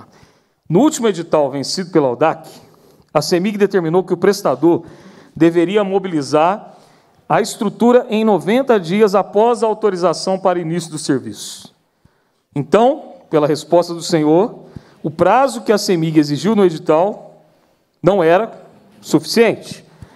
Na verdade, a única empresa que poderia cumprir esse prazo era a própria IC, pois ela já estava mobilizada. É, isso também se encaixa, é, deputados e deputada, no que nós estamos dizendo. É, me perdoe, mas o senhor está com o contrato já renovado, está garantido. Daqui a um mês e meio, a IBM vai subcontratar novamente a AIC, porque não há prazo para mobilização. Não tem como. Não tem como. Uma mobilização de uma equipe de call center. Então, o que, que nós estamos vendo aqui? O que, que parece, é, aparece para essa CPI, melhor dizendo? Que essa renovação é uma renovação a longo prazo, vai acontecendo. É, porque se falta um mês e meio para vencer o contrato, e nós teríamos que ter uma outra empresa que fizesse, doutor Elito Arquini, uma preparação de mais de três meses, não há prazo hábil para isso. Continuo aqui analisando o seguinte: isso reforça a informação que a UDAC nos passou aqui nessa CPI de que iniciou a mobilização de sua estrutura antes mesmo de receber a autorização para início dos serviços, pois se ficasse esperando, não conseguiria cumprir os prazos de 90 dias e seria multada. E é por isso que, com razão, a UDAC, que ganhou e não levou, entrou com um processo contra a CEMIG, um processo milionário. É, pergunta: a AIC já foi contratada pela administração pública para o serviço de call center por meio de contratação direta, ou seja, sem passar por licitação pública? Isso ocorreu em algum momento da história da empresa? Contra, é, deputado, contratação direta sem. Não. Não. Não, que eu me lembro. A primeira vez. É. Ah. Não, eu, eu, meu contrato é com a IBM, nesse caso, o senhor está se referindo. Que presta serviço para a CEMIG, subcontratou a AIC. É, é, a quarteirização. Né? Vamos lá. Se um cliente da CEMIG hoje fizer uma reclamação na ANEL sobre um atendimento ruim da AIC, a qual empresa a CEMIG vai cobrar e aplicar sanções? A IBM ou a AIC? Qual que é a responsabilidade da IC com relação aos indicadores de desempenho da CEMIG frente à ANEL? Meu contrato é com a IBM. O contrato é com a IBM. Então, o atendimento ruim, é, é, quem leva é a IBM. É isso? O contrato é com a IBM. A IBM que responderia, então, a ANEEL. Então, eu, eu só quero lembrar, é, e, e, eu acho até que eu vou preparar aqui a apresentação, presidente, é, para demonstrar, diante da resposta que foi dada, é, que, em relação aos, indi aos indicadores da ANEEL, com esse contrato feito com a IBM, a CEMIG atingiu, presidente, os piores resultados da sua história. Os piores resultados da sua história. É, enquanto são feitas outras perguntas, a gente vai preparar esse slide aqui. É, por enquanto é isso. Muito obrigado, deputado professor Cleiton. Passo a palavra ao deputado Zé Guilherme para a sua participação em questionamentos.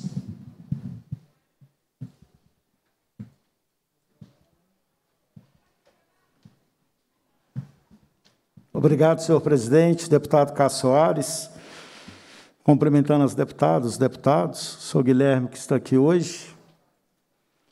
É, eu só queria fazer uma pergunta para o companheiro Cleito, que eu não entendi.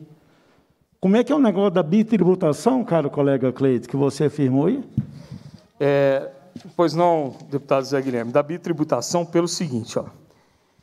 É, se a CEMIG fatura para a IBM, Há uma tributação, há uma tributação na questão do contrato. Né? Na verdade, é o seguinte: a minha pergunta foi: como que ocorre o faturamento em relação à IC do serviço de call center?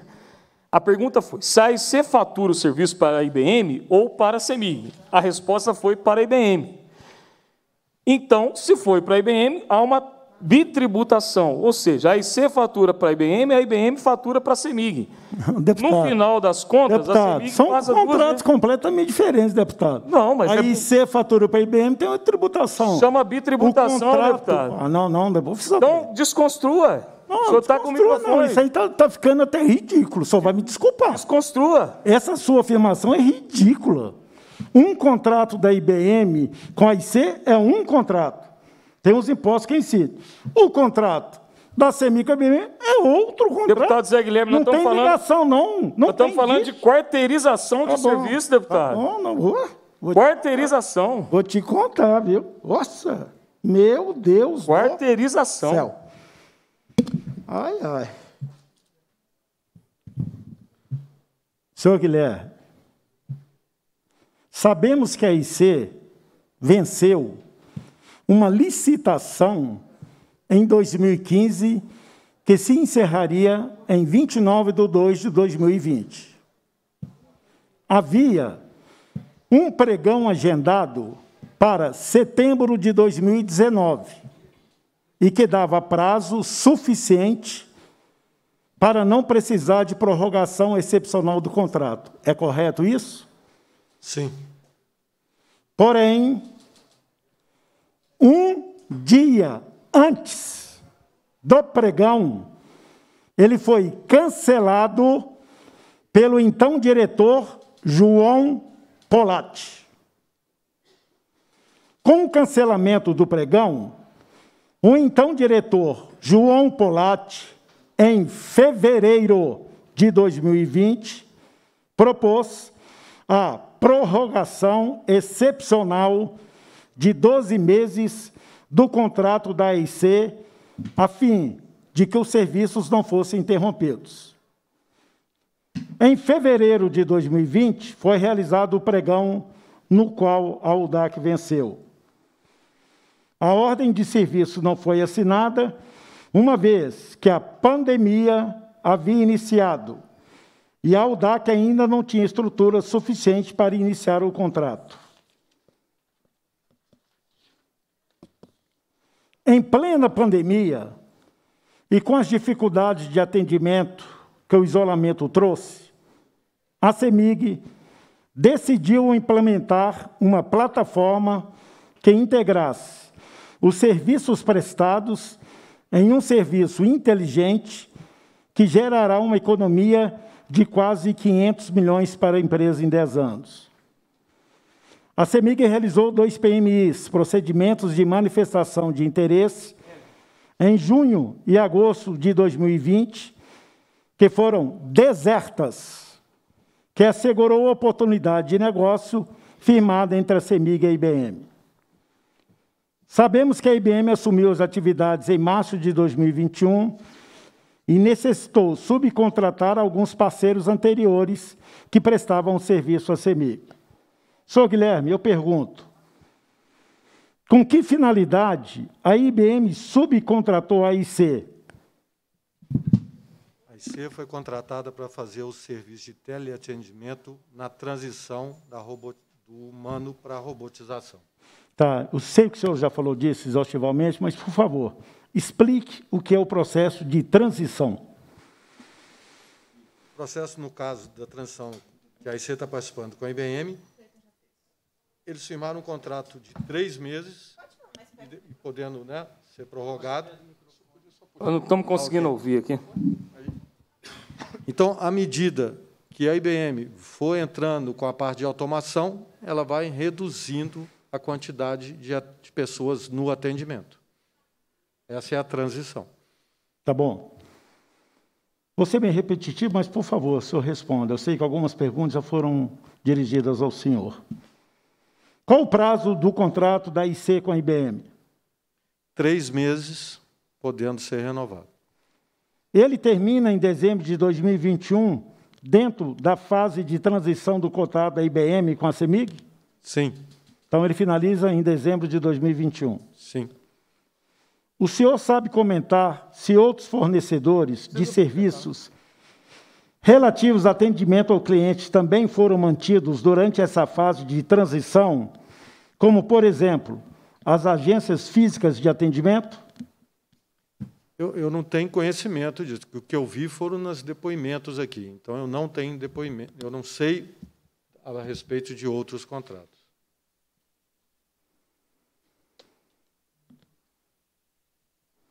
O senhor José Roberto, sócio da UDAC, declarou que teria as mesmas condições da IBM para ser parceiro da CEMIG, no atendimento aos clientes. Essa informação não parece um pouco exagerada? A UDAC ter a mesma porte da IBM? É, eu prefiro não comentar a respeito do, da UDAC e dos concorrentes.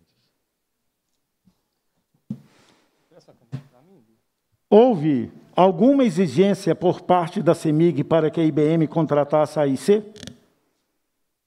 Não, que eu saiba, não. De maneira nenhuma. A IC exigiu da CEMIG que fosse contratada pela IBM? Não.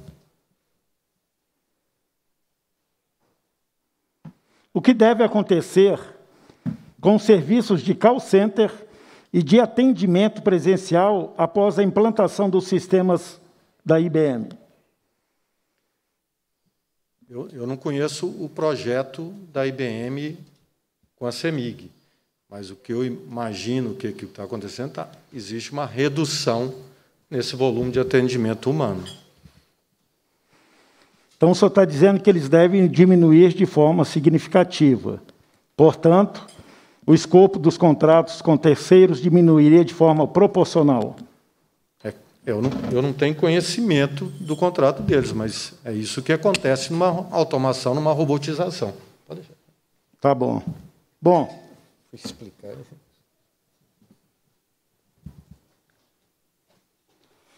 É,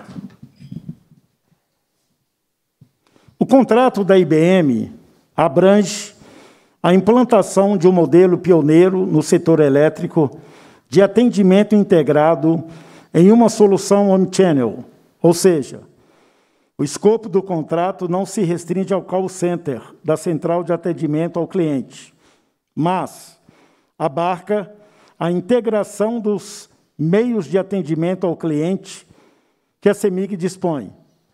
Agências e postos de atendimento, Central de Atendimento 116, CEMIG Atende Web, a PCMIG Atende, mensagem SMS, 29810, WhatsApp, Telegram, chatbot, Facebook, Twitter e totens de atendimento.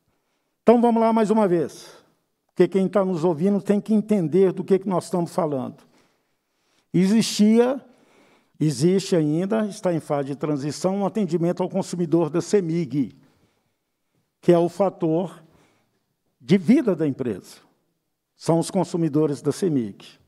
E lá flutuavam vários canais de atendimentos, dos quais nenhum conseguia fazer esse atendimento ao consumidor. E para a empresa, ele era muito caro e é muito caro. Vamos lá o exemplo que nós temos que voltar aqui, do taxímetro. Gerou o taxímetro.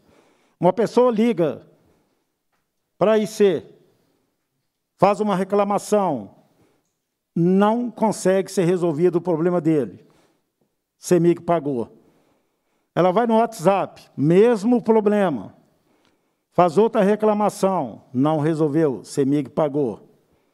Ela vai em qualquer outro canal de atendimento da CEMIG, a mesma reclamação, CEMIG pagou. Vai na loja é, presença física, faz a reclamação, não resolveu, a CEMIG pagou. Então, ela pagava por cada procedimento nesse sistema. No sistema Omnichannel, o cidadão entra no canal, faz a reclamação, ele é gerado um histórico dele, e toda vez que ele voltar novamente, o histórico dele é encontrado e a CEMIG paga uma vez pelo primeiro atendimento. Por isso que vai gerar mais de 500, quase 500 milhões de economia. Isso é evolução. Isso é andar para frente. E hoje, no final aqui, senhor Guilherme, eu acho que ficou muito claro, porque aqui se falava muito de um, uma proteção, de uma forma de proteger, de uma forma de escolher a AIC no processo da CEMIG. Porque o sócio Cássio era secretário do governo Zema. Só que em 2008 não existia nem Partido Novo. A IC estava lá na CEMIG. A IC passou para o governo, o senhor mesmo disse, do PSDB, passou pelo governo do PT e entrou no governo do Novo, porque foi uma sequência. Desde 2008, é, ela está lá dentro. O senhor também disse, foi perguntado, se o senhor contribuiu na campanha do Novo. O senhor respondeu que sim. Mas o senhor disse também que contribuiu na campanha do PSDB e na campanha do PT. Então o senhor também contribuiu com todos que estavam lá desde 2008. Só, pois não? Pois não? Só para esclarecer, porque eu perguntei se ele tinha feito doação. Ele citou as pessoas, a Aécio, não sei quem. Se ele fez ao partido, ele falou que não lembrava. Então, o que ele lembrava do partido foi só o Partido Novo.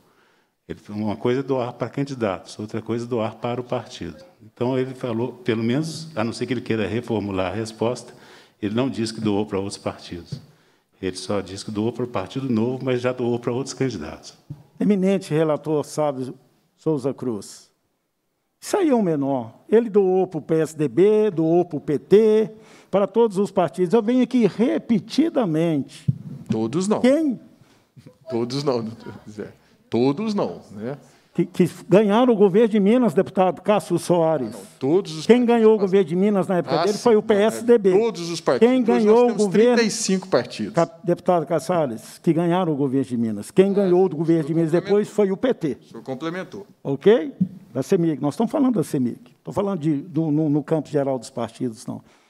Isso é uma praxe. Então, mais uma vez, senhor Guilherme, outra coisa que eu vou finalizar. Outra coisa que eu vou finalizar aqui. Espero, com a sua presença, espero, sinceramente com a sua presença, que nós passamos a respeitar a memória do senhor Cássio. Chega. Vamos respeitar a memória do seu Cássio. Chega. Então, acho que hoje é um ponto final. O senhor já disse tudo isso aqui vamos respeitar a memória do seu Cássio. Isso é que eu acho é, é muito importante. Ele não está aqui para se defender. Ele não está aqui para se defender. O senhor está. E o senhor hoje está aqui para falar, para falar em nome da empresa, para dizer o que o senhor sabe. e dizer que a sua empresa está na CEMIG desde 2008. Desde 2008. Obrigado. Deputado Zé Guilherme, o senhor está em dívida comigo. É, Oi? O senhor está em dívida comigo. O senhor tem que me provar que não tem bitributação. Porque qualquer processo de é. contratação quarteirizada e terceirizada, o senhor sabe eu, disso. Eu acho que é diferente, senhor, o senhor já deputado. Fez, o senhor já fez o senhor que fez a acusação, prove. Não. O senhor que acusou? Não, que precisa fazer acusação, não. Uma questão é uma... de ordem, por gentileza. Vamos, vamos seguir com a reunião. Vamos. E aí, é um processo ter... lógico, o deputado Cássio. O deputado Zé Guilherme, ele cada chamou qual... a minha fala de ridículo. Então, eu estou aqui me defendendo. Cada qual vai ter o seu momento. É, porque eu, eu quero que, que o deputado Zé Guilherme professor prove Cleiton. que não tem tributação, bitributação nesse processo. Cleiton, já já o senhor terá a palavra. Eu quero é, perguntar. Encerrou, deputado Zé Guilherme? Muito obrigado, senhor presidente. Pois não. Eu quem agradeço pela participação e, é, desde já, eu deixo muito claro aqui que, em momento algum, houve qualquer desrespeito à memória do senhor Cássio, que foi sócio proprietário, diretor da empresa AIC. A CPI ela está fazendo um trabalho de esclarecimento, de apuração e investigação em cima de denúncias fáticas que chegaram até a Assembleia Legislativa de contratações irregulares, de ausência de licitações, de procedimentos duvidosos, e em momento algum foi colocado em dúvida qualquer situação eh, de desrespeito à memória do senhor Cássio. Eu, particularmente, não o conheci, não sei quem era, nunca tive é, nenhum tipo de relação, mas nós temos relação com a população mineira. Nós temos relação com o que é certo e com o que está sendo feito pela CEMIG. Então, desta feita, eu deixo bem claro aqui que não há sequer qualquer tipo de desrespeito à memória do senhor Cássio. Pela ordem, professor Cleiton. Vai conseguir? Não, pela ordem, é só para dizer o seguinte: é um processo lógico. Quando se fala de terceirização, nesse caso de quarteirização, é, eu queria saber, deputado Zé Guilherme, qual o argumento que comprova que a CEMIG não paga embutido o valor do contrato da IBM. Todo mundo faz isso. Quando você terceiriza, quando você quarteiriza, é, é, quem disse que a IBM não embute impostos no seu contrato? Isso é uma coisa lógica. O que a gente está questionando aqui, deputado Zé Guilherme, é se havia necessidade disso. É, é, quando a prestação de serviço era feita de forma direta. Como, como o senhor mesmo disse, desde 2008 a AIC fazia, é, é, sem necessidade de passar por esse processo de parceria com a IBM. Foi, o questionamento foi esse. E, e, e um questionamento plausível, lógico. O senhor fez gestão, o senhor sabe disso. O senhor é gestor. Quantas vezes na Federação Mineira, se tinha um processo de terceirização ou de quarteirização, havia bitributação. Isso é, é um processo lógico. E aí eu levantei aqui esse questionamento, porque quem paga a conta disso, deputado Zé Guilherme, é o consumidor. Quando esse processo existe, o empresário embute os impostos, nós sabemos, o senhor sabe disso. Era isso, presidente. Pela ordem, presidente. Pela ordem, deputado Zé Guilherme. Professor Cleiton, é, eu acho que nós estamos, temos aqui uma dificuldade muito grande de aceitar uma coisa moderna, que veio, o novo. É, parece que nós não passamos pela pandemia, não. Nós ficamos isolados na ilha do mundo aí. É um processo natural, é um avanço tecnológico. O senhor sabe, o senhor é um deputado que anda o Estado inteiro. Só, só houve reclamação lá na ponta do que a CEMIG virou, de, precisar fazer uma modernidade, isso é realidade. E do jeito que estava, na organização que estava, da maneira que estava, era cada dia pior e ainda é. Agora, nós temos que caminhar, é o moderno que chegou. Concordo que é uma coisa que não existe no mundo, mas é uma inovação. É uma inovação. Agora, que nós estamos dizendo, o senhor está batendo numa tecla de que a IC precisava continuar lá. A IC encerrou o contrato com a CEMIG. A IC não é contratada mais da CEMIG. A IC é contratada da IBM. A CEMIG não contratou a IC agora. A IC não tem contrato com a CEMIG. Então é isso também. Aqui nós misturamos muitas coisas do que é, do que foi, do que vai pode ser. É isso aí. E sobre esse assunto nosso, e nem eu nem o senhor somos técnicos. Vamos pedir os técnicos para nos dar um parecer e aí a gente conversa. Falou, meu nobre amigo? Obrigado, deputado Zé Guilherme. Chegamos a um consenso. E só, somente uma situação de que a AEC é contratada pela IBM, porém presta serviços para os clientes da CEMIG. Isso é muito claro e notório para todos aqui. Então, há uma terceirização da terceirização, o que nós estamos investigando e caberá ao relator fazer sua análise, suas avaliações e constar no relatório final que bem entender, relatório esse que deverá ser votado posteriormente por todos. Uma observação, presidente. A palavra o relator, deputado Salvo Souza. De fato, restou demonstrado aqui que a AIC presta serviço para a CEMIG de longa data, desde 2008, se eu não me engano. Então, a prestação de serviço para a CEMIG não é o ineditismo. O ineditismo é ela prestar na forma de terceirizado após perder uma licitação, fazendo um serviço para o qual a CEMIG fez uma licitação, encontrou um vencedor e assinou um contrato. Assinou um contrato. Esse serviço que é prestado pela IC por terceirização da CEMIG, ele foi licitado e há um contrato assinado com outra empresa. É por isso que nós estamos discutindo, que nós sabemos que a IC presta serviço de longa data. Mas espero eu, que nos, desde 2008 ela vem prestando como ganhadora de certames de licitação. Não agora, em que ela presta serviço como terceirizada, tendo sido derrotada no certame de licitação. E a empresa que ganhou ficou sem o contrato, inclusive aciona é, na justiça a CEMIG para ser ressarcida dos investimentos, dos prejuízos que ela teve. Ela simplesmente recebeu a notícia assim: olha, é, nós licitamos, assinamos um contrato, mas não queremos mais. Não queremos mais. E o investimento você já fez e tal, fica por isso mesmo. Esse é o ineditismo. É a famosa é, frase que eu cunhei aqui, que não canso de repetir. Eu já tinha visto falar que ganhou e não levou, mas perdeu e levou, é, foi inaugurado pela AIC no contrato com a CEMIG, agora com a intermediação da IBM, que se prestou a esse papel de ser uma grande empresa, um guarda-chuva de terceirização, onde pode pendurar qualquer coisa. A CEMIG de hoje em dia, nessas oportunidades de negócio que ela está encontrando, ela não precisa nem licitar mais nada. Põe tudo no contrato da IBM, vai editando, vai editando. Para que licitar? A IBM é uma empresa tão grande, ela é tão forte, ela é tão bonita, ela é tão bacana, que a CEMIG nem precisa licitar mais nada. Qualquer serviço que ela precisar, basta colocar no contratão da IBM. É isso que está causando estranheza e levando a CPI a fazer essa investigação.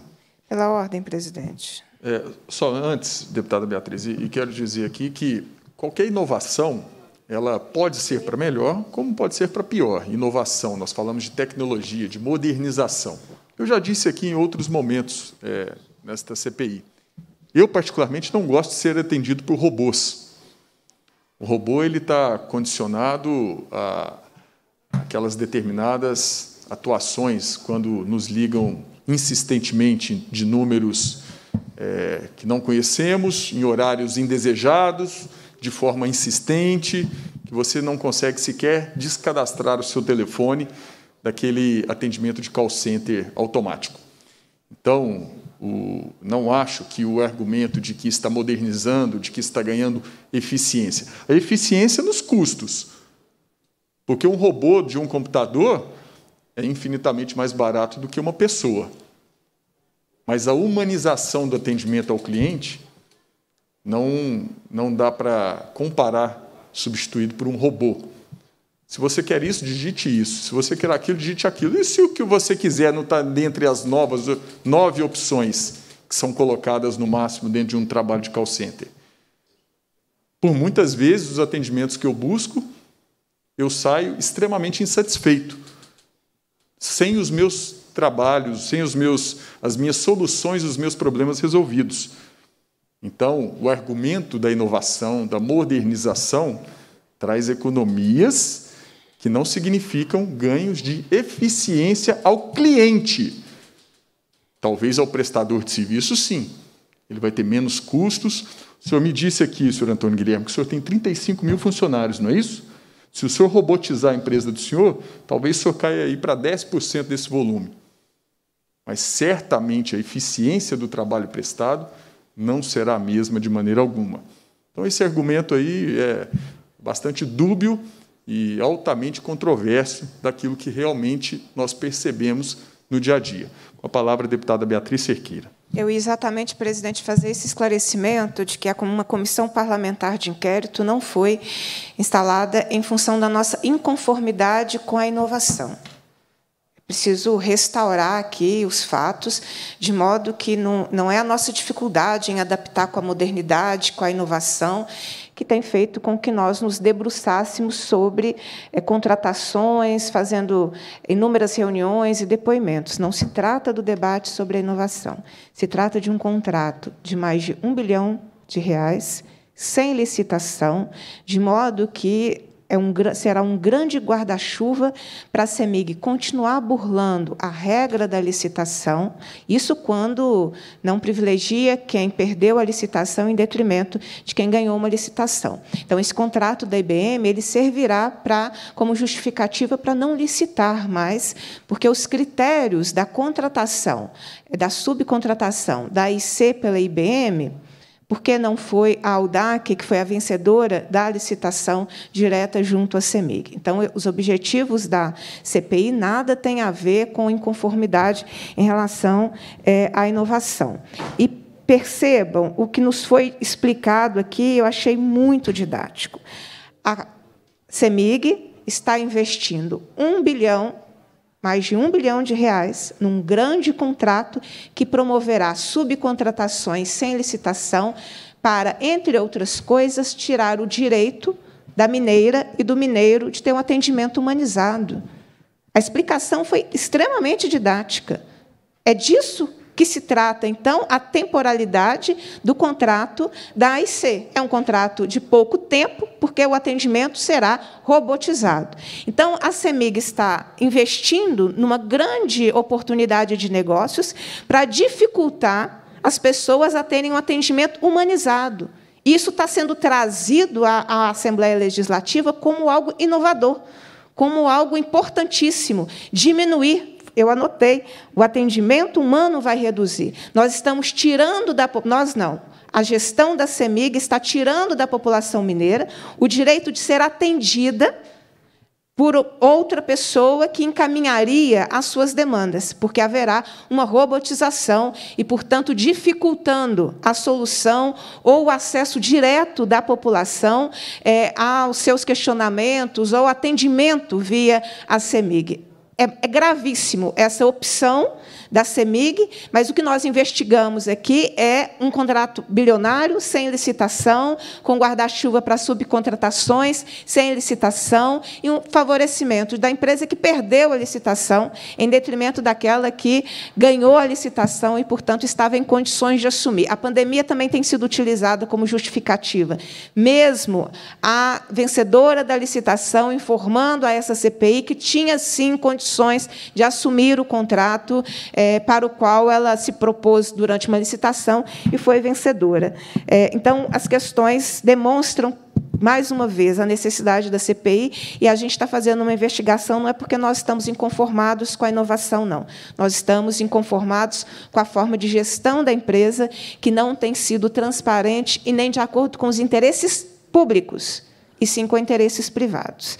Eu só queria deixar claras essas considerações para que ninguém depois possa acreditar que nós somos contra a modernização. Por isso, nós estamos gastando nosso tempo, nós estamos gastando a estrutura da Assembleia Legislativa por discordância com a inovação. Nós discordamos de contrato bilionário sem licitação. E eu, particularmente, discordo de diminuir o atendimento humano à população. A população merece o seu atendimento de excelência, não reduzindo a condição dela ser atendida por alguém, porque ela passará a ser atendida muito mais por robôs do que por outras pessoas que corretamente poderiam encaminhar é, ao atendimento ou à solução do seu problema. É isso, presidente. Obrigado. Pela ordem, presidente. Obrigado, deputada Beatriz Cerqueira. E sem contar, deputada, antes de passar para o professor Cleiton, de que é, o sistema robotizado ele fica lá fazendo um rodízio. Né? Tem lá, talvez, tantas linhas disponíveis e quando o telefone toca é, e não tem alguma linha disponível, é, o serviço desliga na sua cara, né? até cair. Então fica aquela coisa chata, assim, é, desagradável, né? de ligações insistentes, recorrentes, nos nossos telefones, fora de horário comercial, nos incomodando, nos interrompendo. Então, esse custo do dessossego que, que nos, nos é imposto por esse serviço robotizado, isso é imensurável. Professor Cleiton, com a palavra. É, eu queria mostrar três slides aqui é, que comprovam o que eu disse, que já que a intenção é trazer mais modernidade, essa modernidade não tem dado certo. É, preciso do slide 17. Ah, o que nós vamos ver aqui é o índice ANEEL de satisfação do consumidor. E também o índice de satisfação de qualidade percebida. É, a ANEEL mede, a ABRAD também mede, que é a Associação Brasileira de Distribuidora de Energia Elétrica. É, só não vamos entrar aqui em questões técnicas. É, até eu fiz um estudo minucioso, depois eu posso disponibilizar esses slides para todos os deputados dessa CPI. Mas só para frisar, é deputado Sábio Souza Cruz e deputados o pior resultado da história da CEMIG. Eu não vou nem perguntar isso para o depoente para poupá-lo disso, mas ele conhece bem isso aqui. Nosso depoente nessa tarde, que presta serviço desde 2008, poderia até contribuir conosco, mas veja só, olha a queda no índice ANEEL de satisfação do consumidor de 2020, caiu de 70,58 para 58,9 pontos.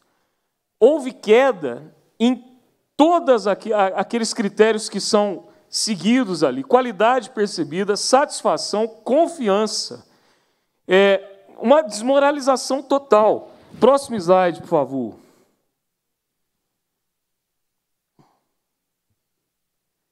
Veja só, desempenho geral dessas áreas.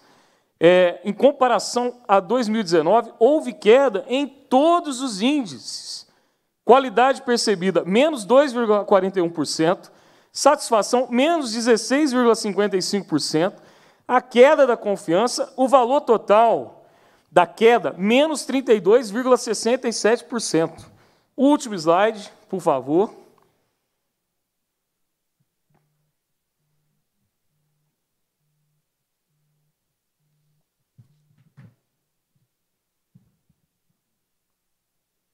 É, o último que eu, que eu, que eu falo para mostrar aqui é o 26, é isso mesmo?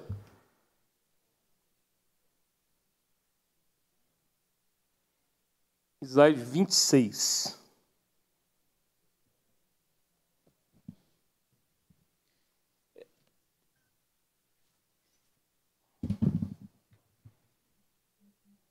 Que aqui eu não tenho ele. É 17, 23 e 26. 23, 26. É, vejam só, pessoal, a, a, a queda é, medida pela ANEEL e pela BRAD. É, não vamos analisar caso a caso, mas só para deixar claro, é, nós estamos diante do pior resultado da história da CEMIG. Pior resultado. Depois gostaria de disponibilizar para todos os deputados fazerem a sua análise.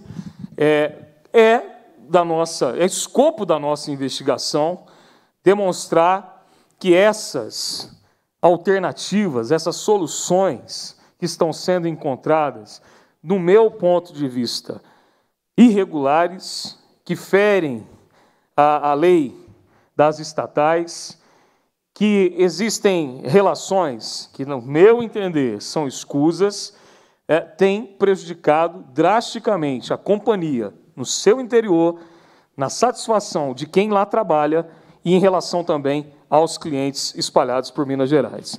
Gostaria de deixar, então, é, aberto aí para disponibilizar para os senhores e para as senhoras Porque a análise disso aqui ela é importante para a gente perceber que nós estamos diante de uma diretoria que não tem as mínimas condições de fazer gestão na nossa maior estatal. Obrigado, presidente. Obrigado, deputado professor Cleide. Pela ordem, presidente. Pela ordem, deputado Zé Reis. Oi? Senhor presidente, eu acho que hoje é um dia muito produtivo, é, e principalmente para trazer à luz algumas dúvidas que ainda persistia. E eu vejo, não sei de qual ano é esse estudo do professor Cleito. É desse ano, desse ano, deputado. Ele retroage ali. É desse ano. Esse, esse, é, esse slide está escrito ali. Ó. É, é, não, é, uma comparação entre o ano de 2021 e o ano de 2020. Essa apresentação foi feita é, dentro da, da, da CEMI. Ah, e ele traz, inclusive, referência a 2017 e se a gente observa que todos eles. 20 e 21, deputado Zé Reis, ali, ó. Me parece que tem slides. No gráfico anterior, professor Cleiton. Gráfico anterior. De anos anteriores. É, e a gente observa que, desde 2017, ele não ultrapassa o índice de satisfação de 70%. Ou seja, significa dizer que as estruturas de atendimento da companhia não está né, de forma satisfatória para a sociedade. Não é de hoje. Né? Isso de acordo com o gráfico que você mostra. E aqui, quando vem né, a informação da, da AIC, que lá no passado tivemos um secretário, o secretário Cássio, e a gente verifica né, essa, esse novo comportamento da CEMIG tentando acertar, tentando evoluir, tentando melhorar, tentando fazer a entrega, tentando trazer IBM, né, que é um atendimento diferenciado do que já se viu, porque os robôs hoje, infelizmente ou felizmente, eu não sei, a era da tecnologia, é, ele está muito mais ágil e eficiente né, do que o ser humano. Isso aqui muito bem demonstrado do professor, do professor, professor também, Zé Guilherme, quando ele fala do taxímetro, né? do cidadão mineiro, liga, é cobrado um serviço, não resolve, passa o e-mail, é cobrado outro serviço, não resolve, passa o WhatsApp. Né? E hoje a gente vê a, a ideia de unificar esse sistema para justamente fazer uma cobrança pelo resultado, obrigando o prestador a tornar muito mais eficiente. Então, é uma quebra de paradigma, efetivamente, e eu tenho certeza, professor Cleito, que nas próximas pesquisas, né, já que nós estamos vendo aqui a AEC já num fechamento de contrato para dezembro, ou seja, o tal do Uno Canal, de fato, efetivamente funcionar, diferentemente de 14 prestadores, como estamos vendo hoje. Então, de certa forma, essa CPI tem feito a sua colaboração até para a gente poder entender e a sociedade, de modo geral, fazer a compreensão. Quando a dúvida, inclusive jogando uma par de cal na dúvida da interferência né, do secretário Cássio. Quando a gente vê a atuação dele lá desde 2008, participando, naquela ocasião, né, de licitação, de pregão, junto à CEMIG, lá em 2015, participando. Da mesma forma, né, agora, ele, super poderoso, que interferia em todos os segmentos né, da empresa, da CEMIG, da AIC e do governo, permitiu que a própria empresa, né, que ele tanto protegia, está sendo sacrificado pela IBM. Ou seja, esse tal poderoso supersecretário Cássio, que interviria em, todos, em todas as entrelinhas, né, colocou uma concorrente para acabar o seu próprio mercado. Ou seja, Deputado então, Zé Guilherme, a empresa dele perdeu uma licitação. Perdeu a licitação para justamente uma, a IBM, que ganhou a licitação. Não, a IBM não concorreu à licitação a concorreu alguma. nos termos da, no, da lei das estatais. Não, não, deputado. Foi uma do... dispensa de licitação. Que ela seja não... dispensa, mas a IBM ela está atuando no mercado de tal forma que nenhuma outra, nem a dele, poderá Poderia. prestar serviço. Outras empresas poderiam nenhuma, ser, né? prestar o mesmo serviço, deputado. Foi dito aqui. Né? Oito empresas. Foi dito, deputado. Não, a IBM vai, está eliminando de vez o, o modelo atual de call center. O modelo atual de call center não existirá mais. Então, ou seja, e ele, então, ele é dono da IBM, né? Se nós levarmos essa premissa, então ele é partícipe da IBM, ele é sócio da IBM.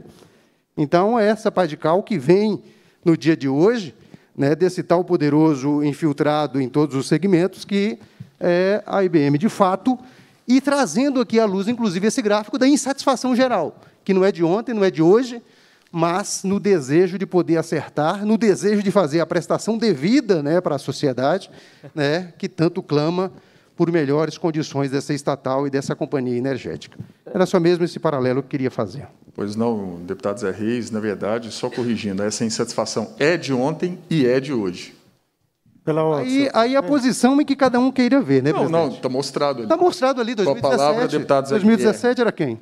Com a palavra. Então, é de ontem e é de hoje. Com a palavra, deputado Zé Posição sua, presidente. Não, ali são os números. 2017, 18, 19, ontem. Professor ontem Cleiton, é retorna aquele outro gráfico, por gentileza, que talvez. A palavra, eu esteja, deputado Zé Guilherme. Talvez eu estou certo. O senhor já encerrou a palavra com a palavra do deputado Zé Guilherme. Pois é, é isso mesmo que eu queria gostar. Agradecendo até o professor Cleiton mostrar esses slides, porque realmente é por isso que a CEMIG tomou a posição de mudar porque isso aí é um desrespeito ao consumidor mineiro. É isso aí mesmo. Mas não deu certo. Está, isso aí é antes da IBM, cara. O professor não, deputado, é Cleiton. Agora, é agora. Antes. 20, professor 20, Cleiton, olha os números antes. Vamos 20, analisar 21. os gráficos antes. Então é por isso. Deputado, é por isso que nós temos gráfico, que ter respeito. Perdão, professor Cleiton, deixa nós temos que, professor Cleiton, nós temos que ter respeito. Nós temos que ter respeito pelo consumidor mineiro, é isso mesmo, é por causa desses números. Mas esse resultado é, é com é a IBM trabalhando lá, deputado. Números. Professor Cleiton, e, vou, e outra coisa, professor. Só aguardar Cleiton, o Zé Guilherme. Professor Cleiton, o sistema da IBM não está implantado ainda. Está aqui,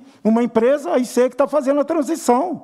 O sistema não está implantado. Agora, é baseado nesses números aí, no desrespeito ao consumidor mineiro, que está sendo implantado um sistema diferente. Está aqui. O sistema da IBM não está funcionando, está sendo implementado. A IC está aqui e está dizendo, ela tem um contrato de transição. A transição está sendo feita. Então, quando tiver feita a transição e esses canais é, que hoje são muito mais modernos, não se liga mais, não dá, a não vai pedir TECL 1, TECL 2, TECL Não, isso já acabou, isso é do passado. E outra coisa, o robô não liga para a pessoa, não, a pessoa que tem que ligar para pedir um serviço. São coisas completamente diferentes e muito mais modernas do que está colocado até hoje. Obrigado. Pela ordem, deputado. Pela ordem, deputado professor Cleiton. Só deixar claro que esse resultado já é com a IBM operando no interior da CEMIG, fazendo subcontratações. É, na fala, o deputado Zé Guilherme está chamando, então, a IC de incompetente, porque ela sempre fez é, esse serviço de call center, então... É... Não é o processo da IBM, professor Cleiton. Deputado Zé Guilherme, a palavra está com o professor Cleiton. Assim como eu interrompi para que Vossa Excelência pudesse concluir, da mesma forma eu peço paciência, se quiser fazer a réplica, tréplica, sei lá, o senhor terá a palavra e a condição. Não, Professor Cleito. Vou, vou, repetir, vou deixar claro. É, esse índice da ANEEL, medido aí constantemente, esse índice de insatisfação já com a IBM no interior da CMI. É, isso é que, que a gente precisa deixar claro. Se ela vai mudar, é o que é aí o que nós esperamos. Mas eu, particularmente, e até falo do deputado Zé Reis, o deputado Zé Reis é um deputado, como eu, lá do interior, o senhor acredita mesmo, deputado Zé Reis, é, que as pessoas dos rincões de Minas Gerais vão conseguir se comunicar com robôs nesse processo de substituição por pessoas? Eu estive nesse final de semana, é, e aí eu, eu, eu, me dirijo ao depoente, é, sem fazer uma pergunta, mas um comentário com o senhor. Eu estive nesse final de semana em Almenara. A reclamação que eu recebi em relação ao serviço que está sendo prestado é, é muito grande. Inclusive em Almenara, nós temos um prefeito que é servidor de carreira da CEMIG e me disse que ele tem sido cobrado constantemente pelas mudanças que foram feitas. Os clientes na região de Almenara eram muito melhor é, atendidos, eram muito melhores, é, é, melhores uh, recebidos ali pelos atendentes do que estão sendo hoje.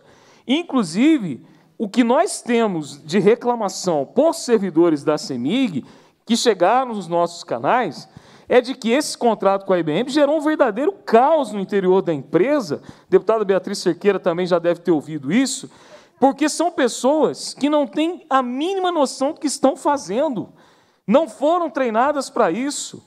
É, aí a gente tem que defender aqui quem fazia, porque fazia é, é, dentro é, de um processo que era um processo que, se não era perfeito, pelo menos era melhor do que está sendo hoje.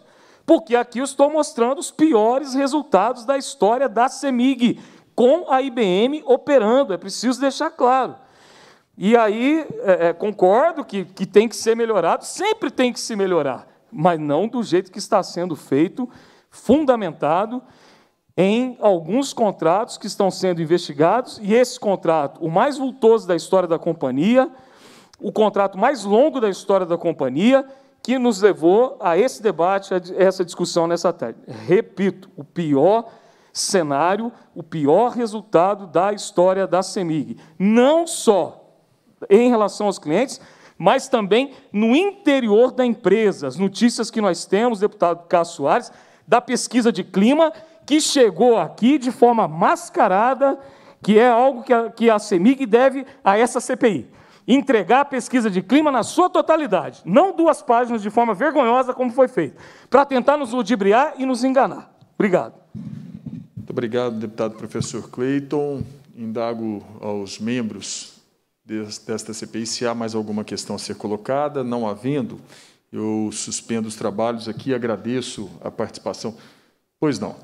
O senhor Antônio Guilherme Noronha fará a sua conclusão aqui. À vontade. Primeiro, eu queria agradecer né, a oportunidade de vir e poder esclarecer os assuntos referentes à IC. Queria ler um texto e também agradecer as palavras referentes ao Cássio. É, a IC vai completar 30 anos. Hoje geramos 35 mil empregos diretos e, na pandemia, além de não termos demitido, ainda criamos mais de 10 mil novos postos de trabalho. Temos orgulho de ser mineiros e, por isso, fizemos questão de manter nossa sede administrativa em Belo Horizonte. Ao pensar nos 30 anos de nossa empresa, o sentimento que primeiro me vem à mente é a profunda gratidão ao meu amigo Cássio Rocha de Azevedo.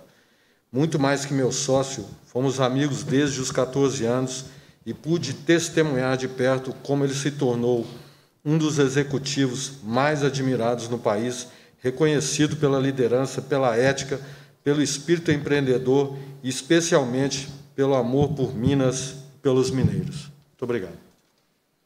Eu quem agradeço mais uma vez, senhor Antônio Guilherme Noronha Luz, fundador da AIC, e que trouxe aqui seus esclarecimentos possíveis às indagações dos membros desta CPI. Agradeço ainda ao senhor Felipe Martins Pinto, advogado, e também à senhora Flávia Neves Tomagnini. Muito obrigado, suspendo por alguns minutos. Requerimentos não há requerimentos a serem analisados nesta fase. Então, diante disso, eu agradeço a participação dos nobres deputados e deputada nesta reunião da tarde. Cumprida a finalidade da reunião, a presidência agradece a presença dos parlamentares e dos convocados, determina a lavratura da ata e encerra os trabalhos.